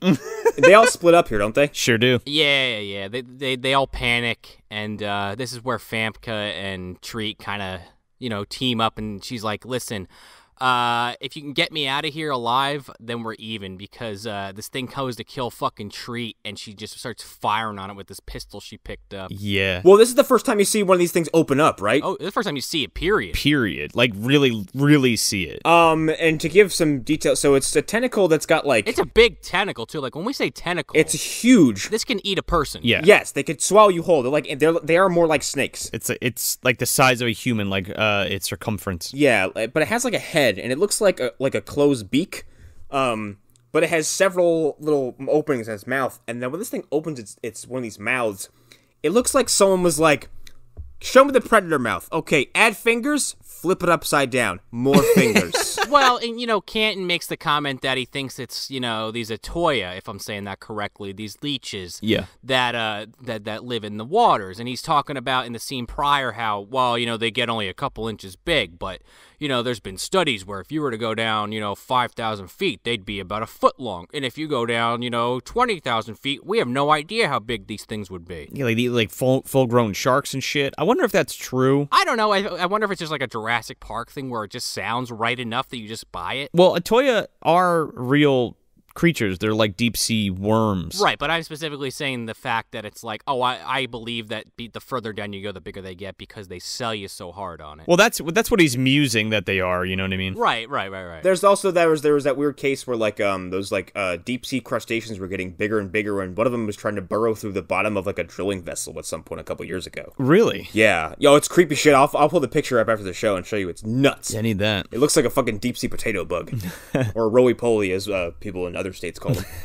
so they they run for their lives. That you know, like I said, Trillian and Finnegan kind of team up after she saves his life. And uh, the only other significant part here is that when they reform the group, uh, the captain. Rest his fucking soul, man. He gets sucked through this fucking catwalk. oh, He gets the old fucking split. yeah, they they try to save him. he get yeah they do, uh, but his toes touch his head. Yeah, there's like this little fucking hole in the grate, and one leg gets pulled through, and this fucking thing breaks the other leg all the way up to his fucking forehead and gets sucked down. Yeah, and just pulls him to this small hole in the in the floor. A lot of people getting pulled through impossible spaces. And this is where we get the Ottoia speech. And uh, so they kind of keep going in a certain direction based on Canton's, uh, you know, mental bru- mental blueprint of the ship. And they eventually come up to a location that's going to take them where they need to go to get at the hell out of Dodge. But uh, unfortunately, it's fucking flooded. Yeah, so they have to swim through this thing. Now, did anybody else get Alien Resurrection flashbacks? Because I feel like that they lifted that shit from this man. Sure, I got more Poseidon Adventure to be honest, but I could see that. Uh, yeah, Poseidon, Alien Resurrection. Um, uh, also, uh, in terms of um, uh, relating to real life fears, fuck that. Yeah. Fun fact: I'm afraid of the ocean. Um, so when the ocean starts to invade the boat, I'm gonna start panicking. Yeah. So I'm gonna say Titanic 2 and Ghost Shark were really hard for you to fucking get through.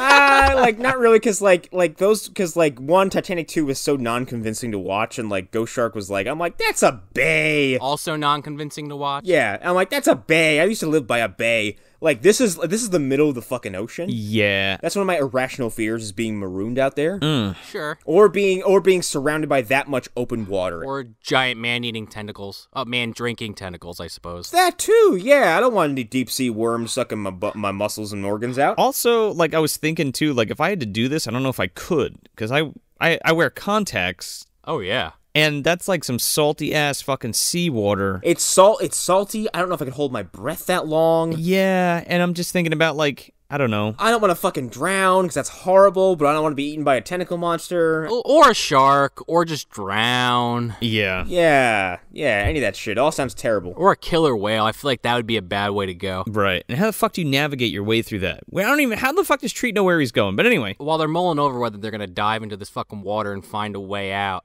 uh, you know, Pantucci makes a bad joke about, well, you know, it, it can't get any worse, right, guys? And then the fucking power goes out and all the lights turn off except for the emergencies, like above the doorways. so they all jump into the fucking water to go to the others. Well, Treat and Treat, Well, not all of them at first. Treat and Sagat jump in. And Sagat, Sagat gives uh, Famke like one of those fucking uh, miniguns.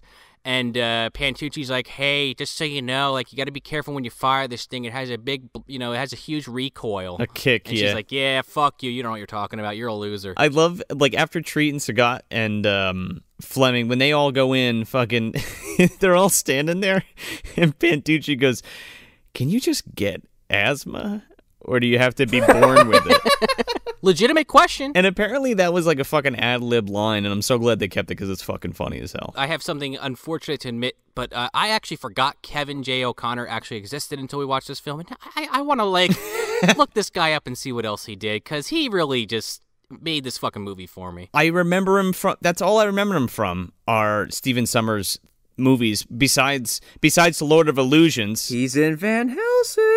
Oh, I know. boy. Well, it's also a Stephen Sommers movie, but He's also in There Will Be Blood. I didn't see him in that. Uh, but he's in Lord of Illusions, um, which came out a couple years, I think '95. I'll, I'll I'll check it out. Van Helsing, I'm still not sold on. I know you guys seem to enjoy it, but uh, you guys gonna someone's got to sell me on that film. He plays like Renfield or Igor or some shit, Okay, I could see that. and he's all done up in a bunch of makeup. You won't even recognize him except for his voice. While they're swimming through, they uh, you know.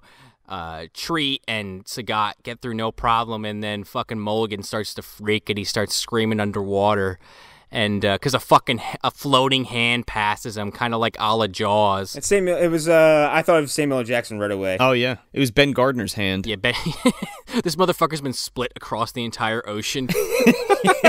yep. they get out no problem, and their whole thing is like, oh, when we get to the other side, we'll fire twice. And I don't think they ever do because No, they don't. uh, Mason, Famke, and uh, Pantucci just see this thing start fucking like breaking down the door, and Famke just starts firing. Uh, Doesn't he actually break through? They don't even see it break down the door. They you just this is the first time you see these things in like action action. Yeah. All right. These fucking tentacles spill out down this fucking hallway and it's terrifying because there's two of them now and they're just like Yeah, well, it's also like the, it's just this pulsating massive movement. Like you can't. It's it's you know there's heads, but you can't see where it starts. they're like opening and like snapping, right? And Right. and it, it just looks like the fucking hallway is like vomiting them down the fucking hallway. Yeah. Right, and then the tentacles hit the door, and it literally explodes into the room. Yeah, because they slam the door and then and then they're shooting at it and then they're all just like, "Fuck it, we're going, we're going in." Well, Famke, Famke shoots this fucking machine gun after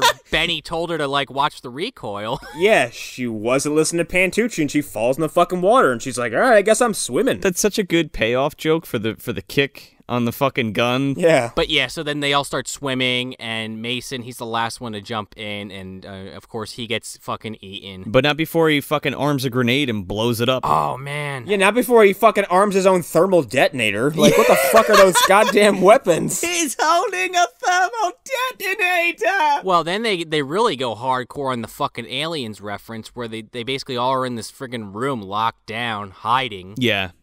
And and it's kind of the same thing. We're like, oh, we're just waiting for him to get in. Mulligan says, "Fuck that! We're gonna make a stand right here, right now. We're gonna lock ourselves in and eat the food here." And they're like, "No, you're an idiot. The ship, the ship is gonna sink."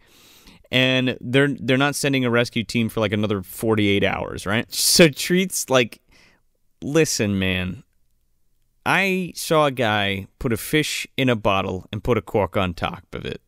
And then I tossed the and then he tossed the bottle to a baby octopus. And that baby octopus felt its way all around that bottle. And then within in under 2 minutes it took the cork out, slid inside and ate the fish. And Pantucci's like, "What's the, what's the fucking moral of the story, man?" Because like, uh, we're the fish. and then Mulligan, which you know tops this fucking thing off like a cherry on top, backs up. You know he's doing his best Bill Paxton impression. You watch as he's backing up, freaking out. He's staying in here no matter what. And then the fucking door opens behind him, and this tentacle creeps out like a fucking anaconda. and goes to eat him. Yeah, and you get react you get reaction shots of everyone in the room. They're all like, "Oh, you're fucked." Yeah, and he's like, "What? What are you staring at?" Um, and uh, unexpectedly, it doesn't eat him right away. Dude, he unloads on this thing. He unloads on this thing, and actually, kind of he scares it off. well, it, it like it count it came in through like a vent that goes over like the the, the stove. Um, so he shoots at it and like retreats back up there because retreat Williams because the a fire like goes off. oh my god! I'll show myself out for that. Uh, yeah. So anyway, there's like fire coming out of the stove, and it kind of like scares it back up there. And he's like, "Hey, yeah, what, well, yeah, you want some of your wanker? Yeah, whatever." Oh, box your ears! Yeah. No- Not even like five seconds after that happens, and everybody leaves the fucking room. There's another one right behind him, and it fucking eats him. Yeah, they leave while he's fucking fighting this thing. Oh yeah, they're just like fuck this. He's a distraction now. Well, two seconds ago, he was like holding them at gunpoint, like nobody's going anywhere. Oh yeah, they're using any opportunity to get away from this madman and the Right. fucking creatures. Fuck them. Um, so yeah, they, they start running down a hallway. It's kind of implied here that the creature is pushing them in a certain direction. yeah, they keep like shutting the doors and like stealing them off. Right. Oh, that's right, because it, it closes doors and closes the valves. Like it figured out how to do that. Yeah, and exactly. Well, that's what I think the previous scene is hinting at. Even you know, Yeah. with a combination. Yeah, Of, I love that. That was immediately after this this the octopus speech because it like it just ties it right together. yep. And Pantucci's like, "How could they cut the power, man? They're animals." well, then Chilton, he's like, "All right, yeah, I know this fucking ship like the back of my hand. Just keep going this way." I built it, dumbass. And Famke's like, all right, well, are you coming with us? He's like, yeah, in a moment. Like feigns like exhaustion, and then they like turn a corner, and he like just like fucking goes through a different door. He fucking leaves. Yeah, I wasn't sure if he was gonna stay like if his babyface turn was gonna stick, and then I was like, ah, you piece of shit. Oh, he gets shittier by the moment after this. Well, he tells him like this is the direction to go to go to the bow, and this is the way out. Well, he says they're they're pushing him towards the bow of the ship, and Treat's like, "What's at the bow of the ship?" And he's like, "I don't know, but you guys can go. I'm not going. Fuck you." Well, they go, and uh, Treat says apparently it's the feeding ground. It's the mass grave of the one percent. Yeah, it's you're like, oh, there's the rest of the passengers and the crew, All of them. and anybody else. It looks like Malbolge's living room. Ah, the table's covered in gore. Frank Welker's there. Welcome, Treat. Hello. Oh man, that voice is deadly on my throat. Mm, that's why I didn't do it. Yeah, it's it's just wall to wall. It is wall to wall bodies and skeletons. It's awesome. Well, and the best part too is while they're in there, you know, like Joe was saying, and even me to a point, you know, these these tentacles are hurting them into this location, and then you Yeah. just kind of like Jaws 3D. These things start attacking the fucking one side of the room, and they blow the glass out, or the uh, no, well, not glass. That was Jaws 3D, but they blow the wall out, and all the fucking water just comes flying in. Yeah, Lou Gossett Jr.'s there. He's like, it's some kind of shock mother. And Treat's Yeah. like, no, it's not. it's a fucking Octalus. And uh, yeah, this is so this this act this whole event is like what triggers like the big sinking of the ship. Like it blows a fuck.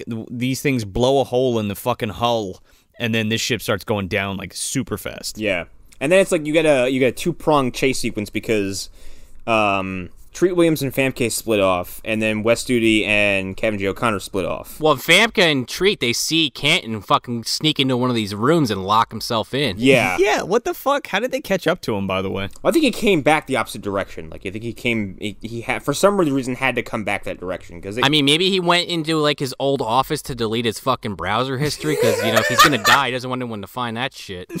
the emails, man. Yeah, the Mr. Trump told me to delete these. He doesn't want to look like Hillary with the acid wash. a private email server. What was I thinking?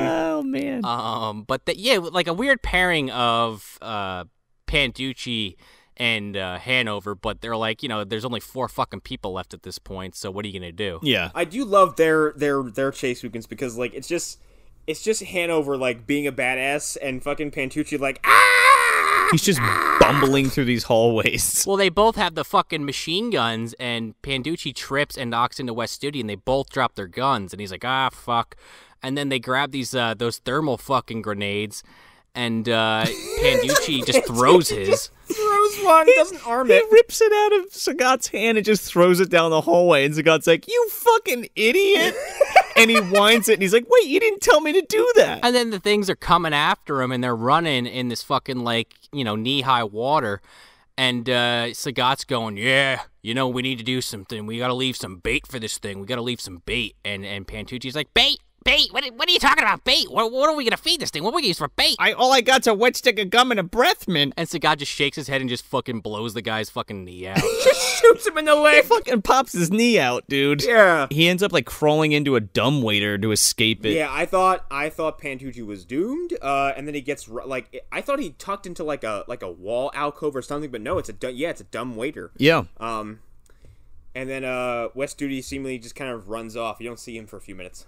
Um, I don't remember where they find uh because they che- they keep chasing Canton. Doesn't Canton go outside? Yeah, there's like a quick scene where like Canton is on a balcony and he like looks over the balcony and he sees an island. Um, and then Famke and um, Treat come out and he's like, ah, I lost. Oh, by the way, when we're running around, he loses the parts to the ship to fix his boat. Um, and he like he loses them in a room where the fucking door is like closing off because of the flooding. So he's trying to open the door and, and he, he loses the parts. So he comes up with a plan to blow up the fucking ship.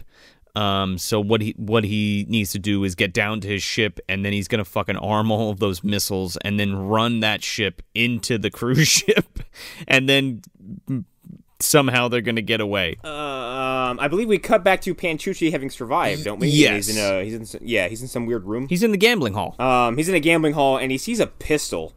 Um, and he goes to grab it, um, and uh, Hanover grabs his hand, and he looks uh, like he's not having a good time. No. And then it kind of pans out, and Hanover's lower torso is just kind of being suckled on by one of these one of these tentacles. He looks like a goddamn Slim Jim in this thing's mouth. Uh, Pantucci uh, takes grabs the gun, Yeah. goes to leave, and I guess like kind of looks back at with uh, Hanover, and he's like, "All right." He goes to give him the gun again. He's like, "Don't tell you I didn't give you anything, or don't say I didn't give you anything before." Uh, goes to leave, and you assume that Wes Studi's going to shoot himself in the head, and so he takes a shot at Pantucci. And he's just like, you asshole! you asshole! Oh, he regretted that. and then he goes to shoot himself, and he's got no bullets left. and he just screams while this fucking thing has a Sagat shake.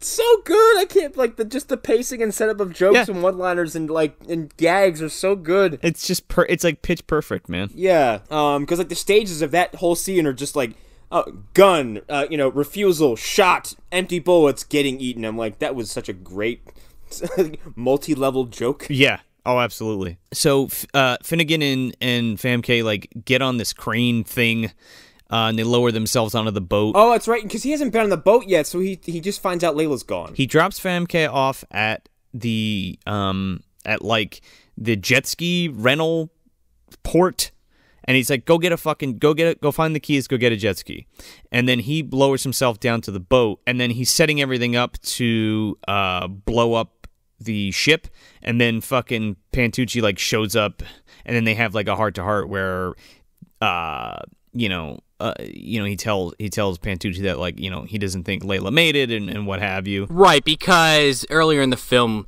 like they talk about, well, they don't talk about, but like Pantucci and Leila were like a thing because they kissed and they're like talking about, oh, I love you. Oh no, I love you. Oh, that's his girlfriend. Yeah, straight up. He even says it. Pantucci kind of has a moment, and like I was like, that was earned. Sure was. Like I felt bad for everybody there. Yeah. Even though, and she has like two minutes of screen time, and I still felt bad for him. Because he's a likable character. Yeah. Canton corners Famke when she's like getting uh, the fucking jet ski, and he's like, he's got a fucking flare gun. And he's like, he's like, all right, give me the fucking keys, please. And she's like, no, fuck He's got, you. he's got he's got a sawn off flare gun. Like It is. It's it's a, it's a large boy, double barrel motherfucker too. yeah, it looks like Ash's shotgun, but it shoots flares instead. The pistol. yeah. Well, speaking of Ash's shotgun, fucking treat. He they show it in the beginning of the movie, but he doesn't ever actually do anything with it. But he has this double barrel shotgun just hanging on his fucking like captain's chair. Well, yeah, he keeps it for close encounters, man. Yeah, and treat like yeah, treat arms himself. Uh, he gets he gets ready for the fucking war. Um, but uh, yeah, Canton uh corners uh, tr- uh Trillian as she's getting a key for the jet ski, and then like they have kind of a chase. Yeah, and he tries to fucking kill her with a flare gun. He fucking shoots a flare gun at her Twice. Like, yeah, twice. And the second time, she fucking dodge rolls this fucking thing. Uh, she dives to the air and it just barely misses her. And then she like makes it at break to the gambling room again, and Canton shows up and he fucking corners her, and he like has this flare gun pointed in her face, and she ends up giving him the keys, and he's like, "Nope, sorry, can't let you live because no survivors," and he's like. I don't think this is going to be quick, but it's going to be interesting. And then this is the moment where I was like, this guy is on some next level fucked up shit. Like, he is on some fucking Epstein shit. Well, because he has his gun pointed, it's it is an inch away from her nose. Right, but the fact of he's excited to shoot this woman in the face with a flare gun. Oh yeah, because he's like he's like I've never killed anyone before. He's like so I, I think he, he says like I didn't think this is how it happened. And, yeah, and then he says Not intentionally, anyway, he says. I mean, he hasn't caused a child to fall off a cliff yet Not yet. that we're aware of. yeah yet. Uh, but Treat Williams kicks the door open and doesn't shoot him, but shoots Around him. around him. Uh, dude, it's fucking effective, man. It sure is. He just continuously scares the piss out of this guy and just keeps doing. it. He's like, and then he runs away. He's like, "Nah, I'm good," and just keeps shooting at like the floor, the walls. Well, you know, it's a pisser for treat because av- as they've established in this film that, you know, once you start making noise, this fucking thing's coming for you. Yeah. Oh yeah.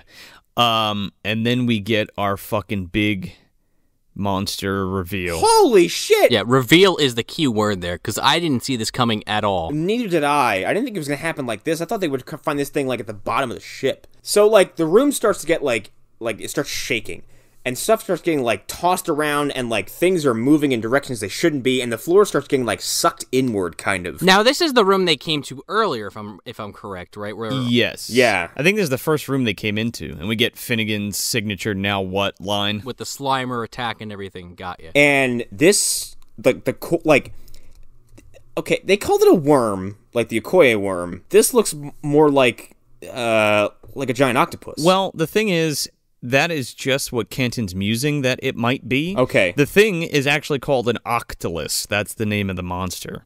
Um, it's a fictional creature, obviously, but um, it has nothing to do with any real life anything. It's just like kind of based on an octopus, sort of, but it's like its own thing. yeah it is it's got a big fucking octopus head and these tentacles are swirling everywhere and like it's covered in teeth and spikes I can see some people looking at that and being like, "That's a little on the nose with that fucking octopus in a bottle story."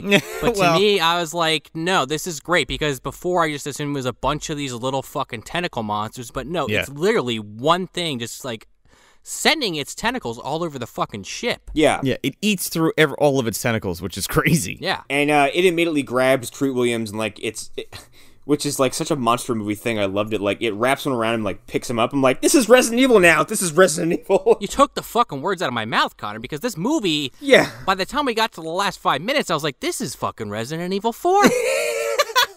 In the best way possible, though. yeah. Yeah, it's amazing. Like Treat Williams has a fucking shotgun. Um, uh, but this thing, like, yeah, it like it, it scoops him up and like actually kind of stuns him. It like smacks him in the face. It, it punches him in the face with one of its tentacles, and then it like holds him up to his eye, to the thing's eye, and he's like, "What are you looking at?" And he pulls out the fucking shotgun and blows this motherfucker's eye up. Right in the weak spot. Oh, it's so good. It's great. It's wonderful. It's like a fucking House of the Dead villain. The only thing he was missing was Famke throwing him a fucking rocket launcher going, Here, take this. Thanks, Brett. I mean Trillian. I mean, he did set up those torpedoes, so. That counts. Yeah, and he has his uh he did set the autopilot in his boat. Yeah, I think we mentioned it before, but not quite in detail. Like he's gonna have his boat Yeah. kind of autopilot out and arch back into the boat. So it's gonna make a big old uh like a U turn essentially. Yeah, and it has all of the missiles that are armed on the ship, so it's gonna blow the fuck out of this liner, this cruise liner. And the pisser is, I forget if it's now or in a minute or two, but his boat starts moving, and Canton sees this, and he's like, fuck. And he literally jumps like two stories to land on this boat. And he breaks his fucking leg like an asshole. because the boat is driving away. Oh, right before that, uh, Finnegan goes back to the ship to check to get Mantucci, and he's uh, air quoted dead. Yeah, he's seemingly gone, and I was legitimately bummed for a few minutes. Mm, yeah. Yeah. No, yeah. Fun fact: he was supposed to be dead, dead. Oh, but the test screenings were like, "Yeah, you can't kill Mantucci. You got to bring or Pantucci. You got to bring him back." Yeah, I mean it, it's it's one of those things where it's like you know in the beginning when you don't see people like die but they just like get flown off the screen you're like okay that's for an effect but if it's like towards the end and you already know what the creature looks like it's pretty much like implied that they're trying to fake you out. or it's not showing you a character that's likable and get, having uh, not showing their death, so it's uh, probably easier for an audience to take. Well, yeah, I mean, dude, listen, we're gonna get to it in a second, but Pantucci has fucking plot armor out the ass, and I'm kind of okay with it. he sure does. Yeah, he does. it's it's totally fine because I just like the character. So so Canton fucking falls on this thing, breaks his leg, and like crawls into the cockpit, and he goes to grab the fucking uh, the the controller, and he's like, "Oh, I'm getting away," and it's like, "Nope, it's on autopilot," and he's like, "What the fuck?" And he sees the course. he he loses his glasses because he has glasses in this movie. Right. He loses them, so like he's just looking at shit and just hammering buttons and valves and levers and whatever the fuck and like trying to do something, but nothing's working. Yeah, because he can't shut it off in time. Yeah. So so Treaton and Famke get away from the the Octalus, and they jump on a fucking jet ski, and they're gonna go right out the um. Uh, they're gonna jump out the fucking side of the ship so they can, you know, get away. Ashley, hop on. Yeah, right.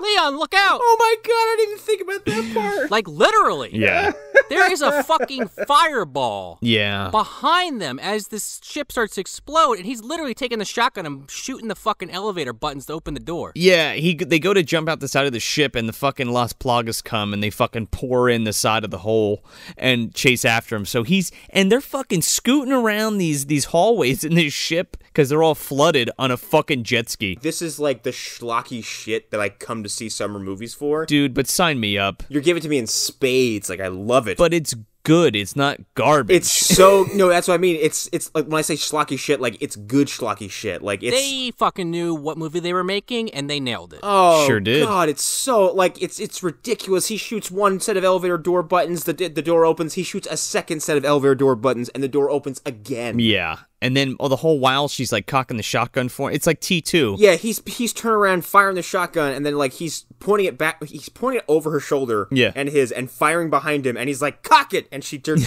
she cocks, she pumps the shotgun for him. He fires again. By the way, Famke and Janssen would be deaf. Yeah. Um, it's like the fucking T one thousand uh, chase. I think she's just gonna be okay with that because it's either that or getting burned alive or eaten by this fucking tentacle monster. So Or drowning. yeah. thanks for the tinnitus treat. Well, like Joe was saying, the Las Plagas is right behind him, and that fireball's catching up, and they fucking hit the exit and do a fucking jump as this ball, ar- uh, this ball of fire engulfs them, and they hit the water Yeah. and speed off. Well, Canton hits the fucking ship and all the bombs go off. He sees it coming and puts his hands in front of his face. He's like, "No!" The screen, the sc- the radar screen, fucking like where the where the poker game is going on, the digital poker, fucking just reads game over. and fucking Yeah. hits the boat and explodes. And then at yeah, so like Sean was saying, as this thing explodes, Famke and, and Treat fly out of the side of the ship simultaneously while Canton crashes into it, explodes, and then the fucking Octalus monster explodes into a million fucking pieces.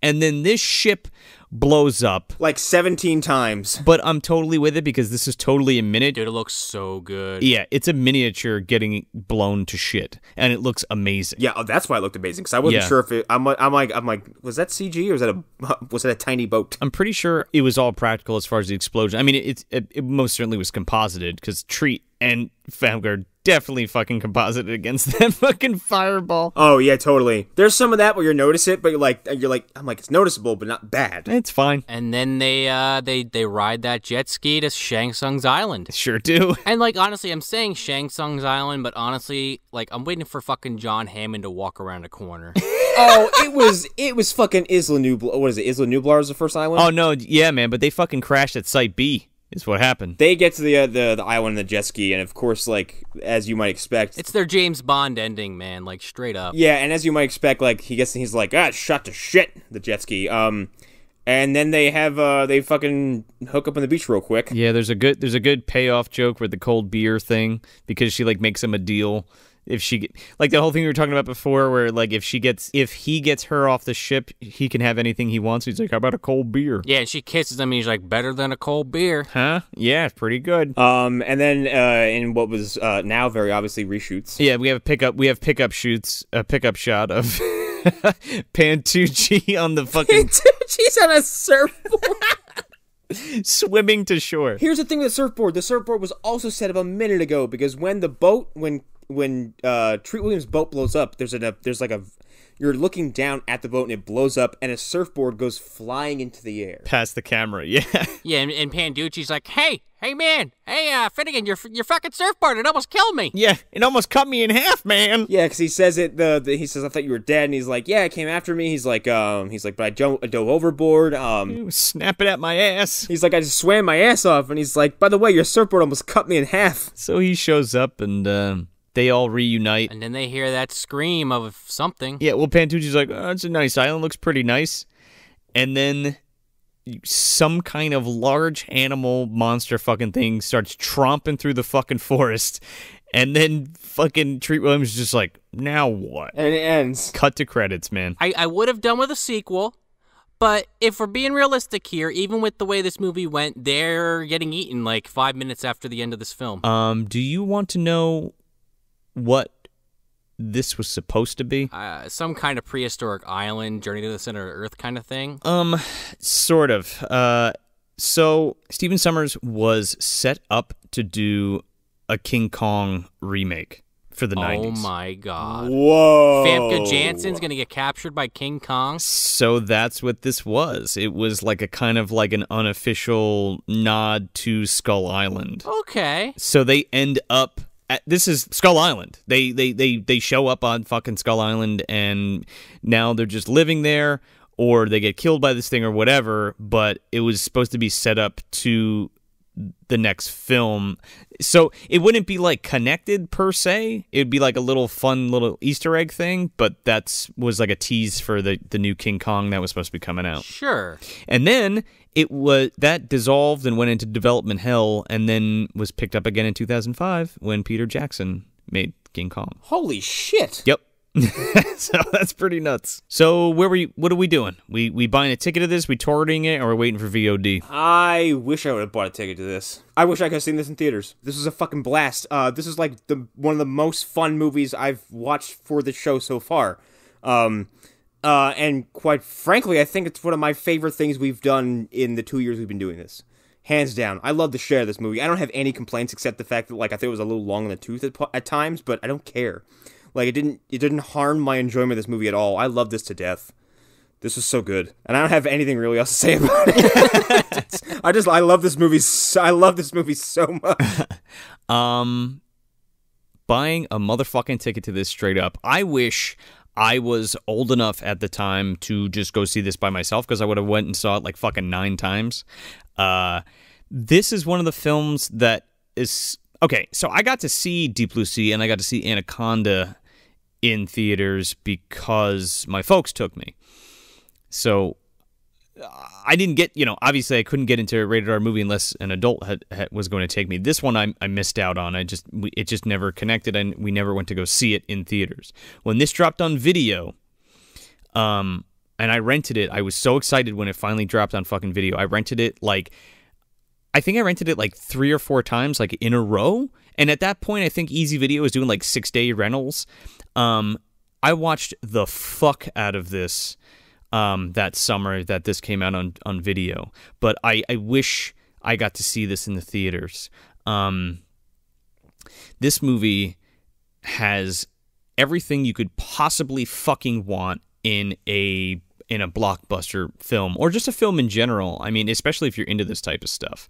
Um, it the comedy's on point, the action's on point, the acting's on point, the effects are on point. The uh, everything the story the the story beats the the way everything unfolds the exposition everything is just this sweet lovely cocktail of a film that just hits every single fucking note you want to see and hear.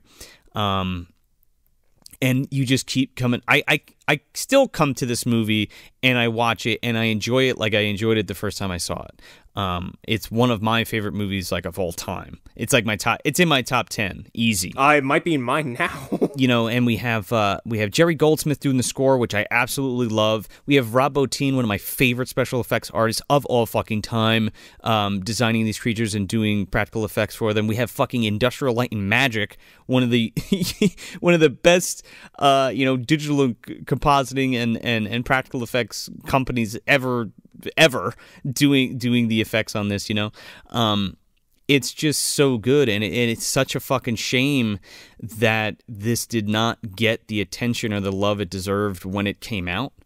Um, I feel like there's a huge um, audience for this now, and I feel like it's in in in, in recent years is getting a lot a lot of love. Uh, Kino Lorber just put out a Blu-ray of this brand new 4K scan, um, and I picked it up. It is fucking fantastic. Yeah, I might have to grab it personally. I only had it on VHS until I just bought the the the Kino Lorber Blu-ray, um, and. It, not only is just like the the transfer worth the money, but like the uh, special features that were produced um, by Heather Buckley are fucking fantastic. Especially like all of the special effects interviews and and behind the scenes shit. It's just such a great disc. Um, if you've never seen this movie before, do yourself a favor and see it. And um, you know, grab that fucking Blu-ray because it's amazing. Um, so yeah, buy a ticket. One of my favorite movies ever, and I'm really happy that we got to do it on the show because, um, just to cap that off, this show again. I know I've said it before. We've said it before, but like this, the the point of this show is not to just go shit on movies. We we want to share with you things or, or hidden gems or, or, or movies that got put to the wayside. You know that got sort of thrown out by um, uh, uh, uh, uh, critics and, and, and your average moviegoer, right? So um, so yeah, buying a ticket, fucking fantastic movie. I am definitely buying a ticket, and I, I just might have to pick up that fucking Blu-ray because it looks and sounds amazing. Um, I, you know, I, I don't know how much I can really add to what Joe and Connor have already said. I can add a personal anecdote that I, you know, like I said earlier in this episode, I had never heard of this film until Joe said, "Hey, we really got to do this as a blockbuster bomb."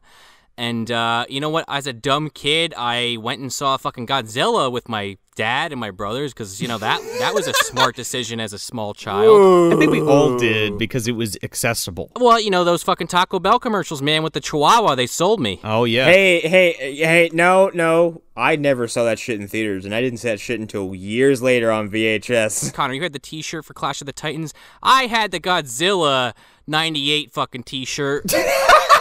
it was the goddamn Godzilla coming through the fucking uh, dock, and it had this like green goo in it. You know, as a fucking elementary school student, I thought that was the coolest shit at the time. Oh hell yeah! I had the Taco Bell cup, dude. There you go. Joe knows what I'm talking about. Oh yeah, it's fucking Godzilla. Yeah. Putting that aside, 100% buying a ticket to this.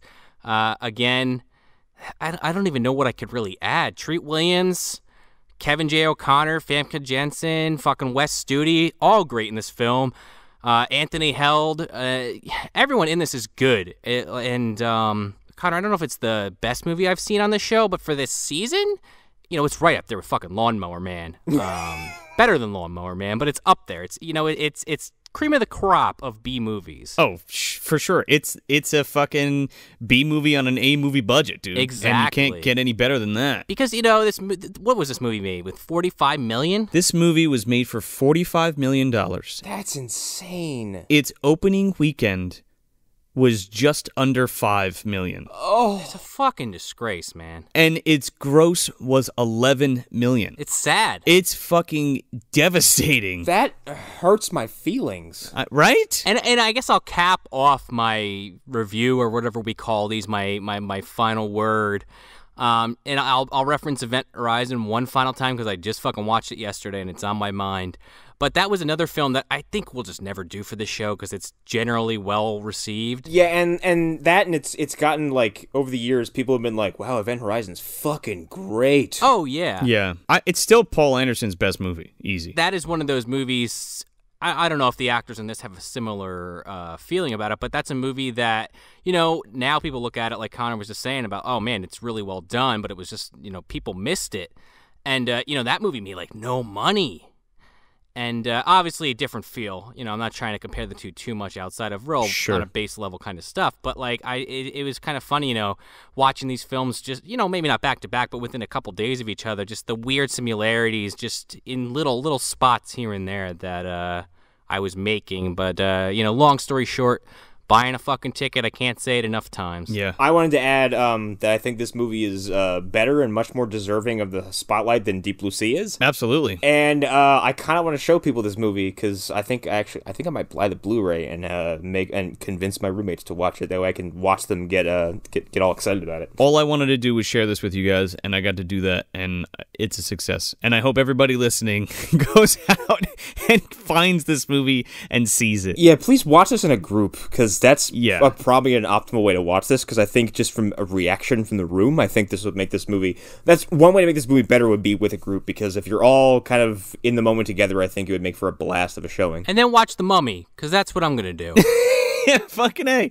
Uh, yeah, uh, summer's almost over, and this is definitely one of those flicks to watch while it's hot out at your barbecue or what have you. This film is on Roger Ebert's like most hated list or some shit like that. Well, he's dead, so haha. oh my god. Um, it's just like it's just kind of like fuck you, you know what I mean? Like I don't know. Hey man, Siskel gave Baby's Day Out two thumbs up, so you know it's an opinion. Yeah, it sure is. This movie's alive and kicking. I'm sorry. It- yeah, R.I.P. Roger Ebert. Jesus. he's not a bad guy. He just has shit taste. So that's it. That's Deep Rising from 1998, directed by Stephen Sommers. Hey, everybody, if you want some more bad movie goodness, you can check us out at MovieDumpsterPodcast.com. Subscribe to us on iTunes, Android, Stitcher, Spotify, Google Play, or Podbean, and make sure to leave us a five star review if you dig the show because it helps us get out of the bottom of the dumpster into more eardrums. Yeah, and if you're on the social medias, you can follow us at Movie Dumpster on Instagram, Facebook, and Twitter. I'm Joe Scola. I'm Sean O'Rourke. I'm Connor the Deep Night Rises McGraw. Thanks for visiting the dumpster.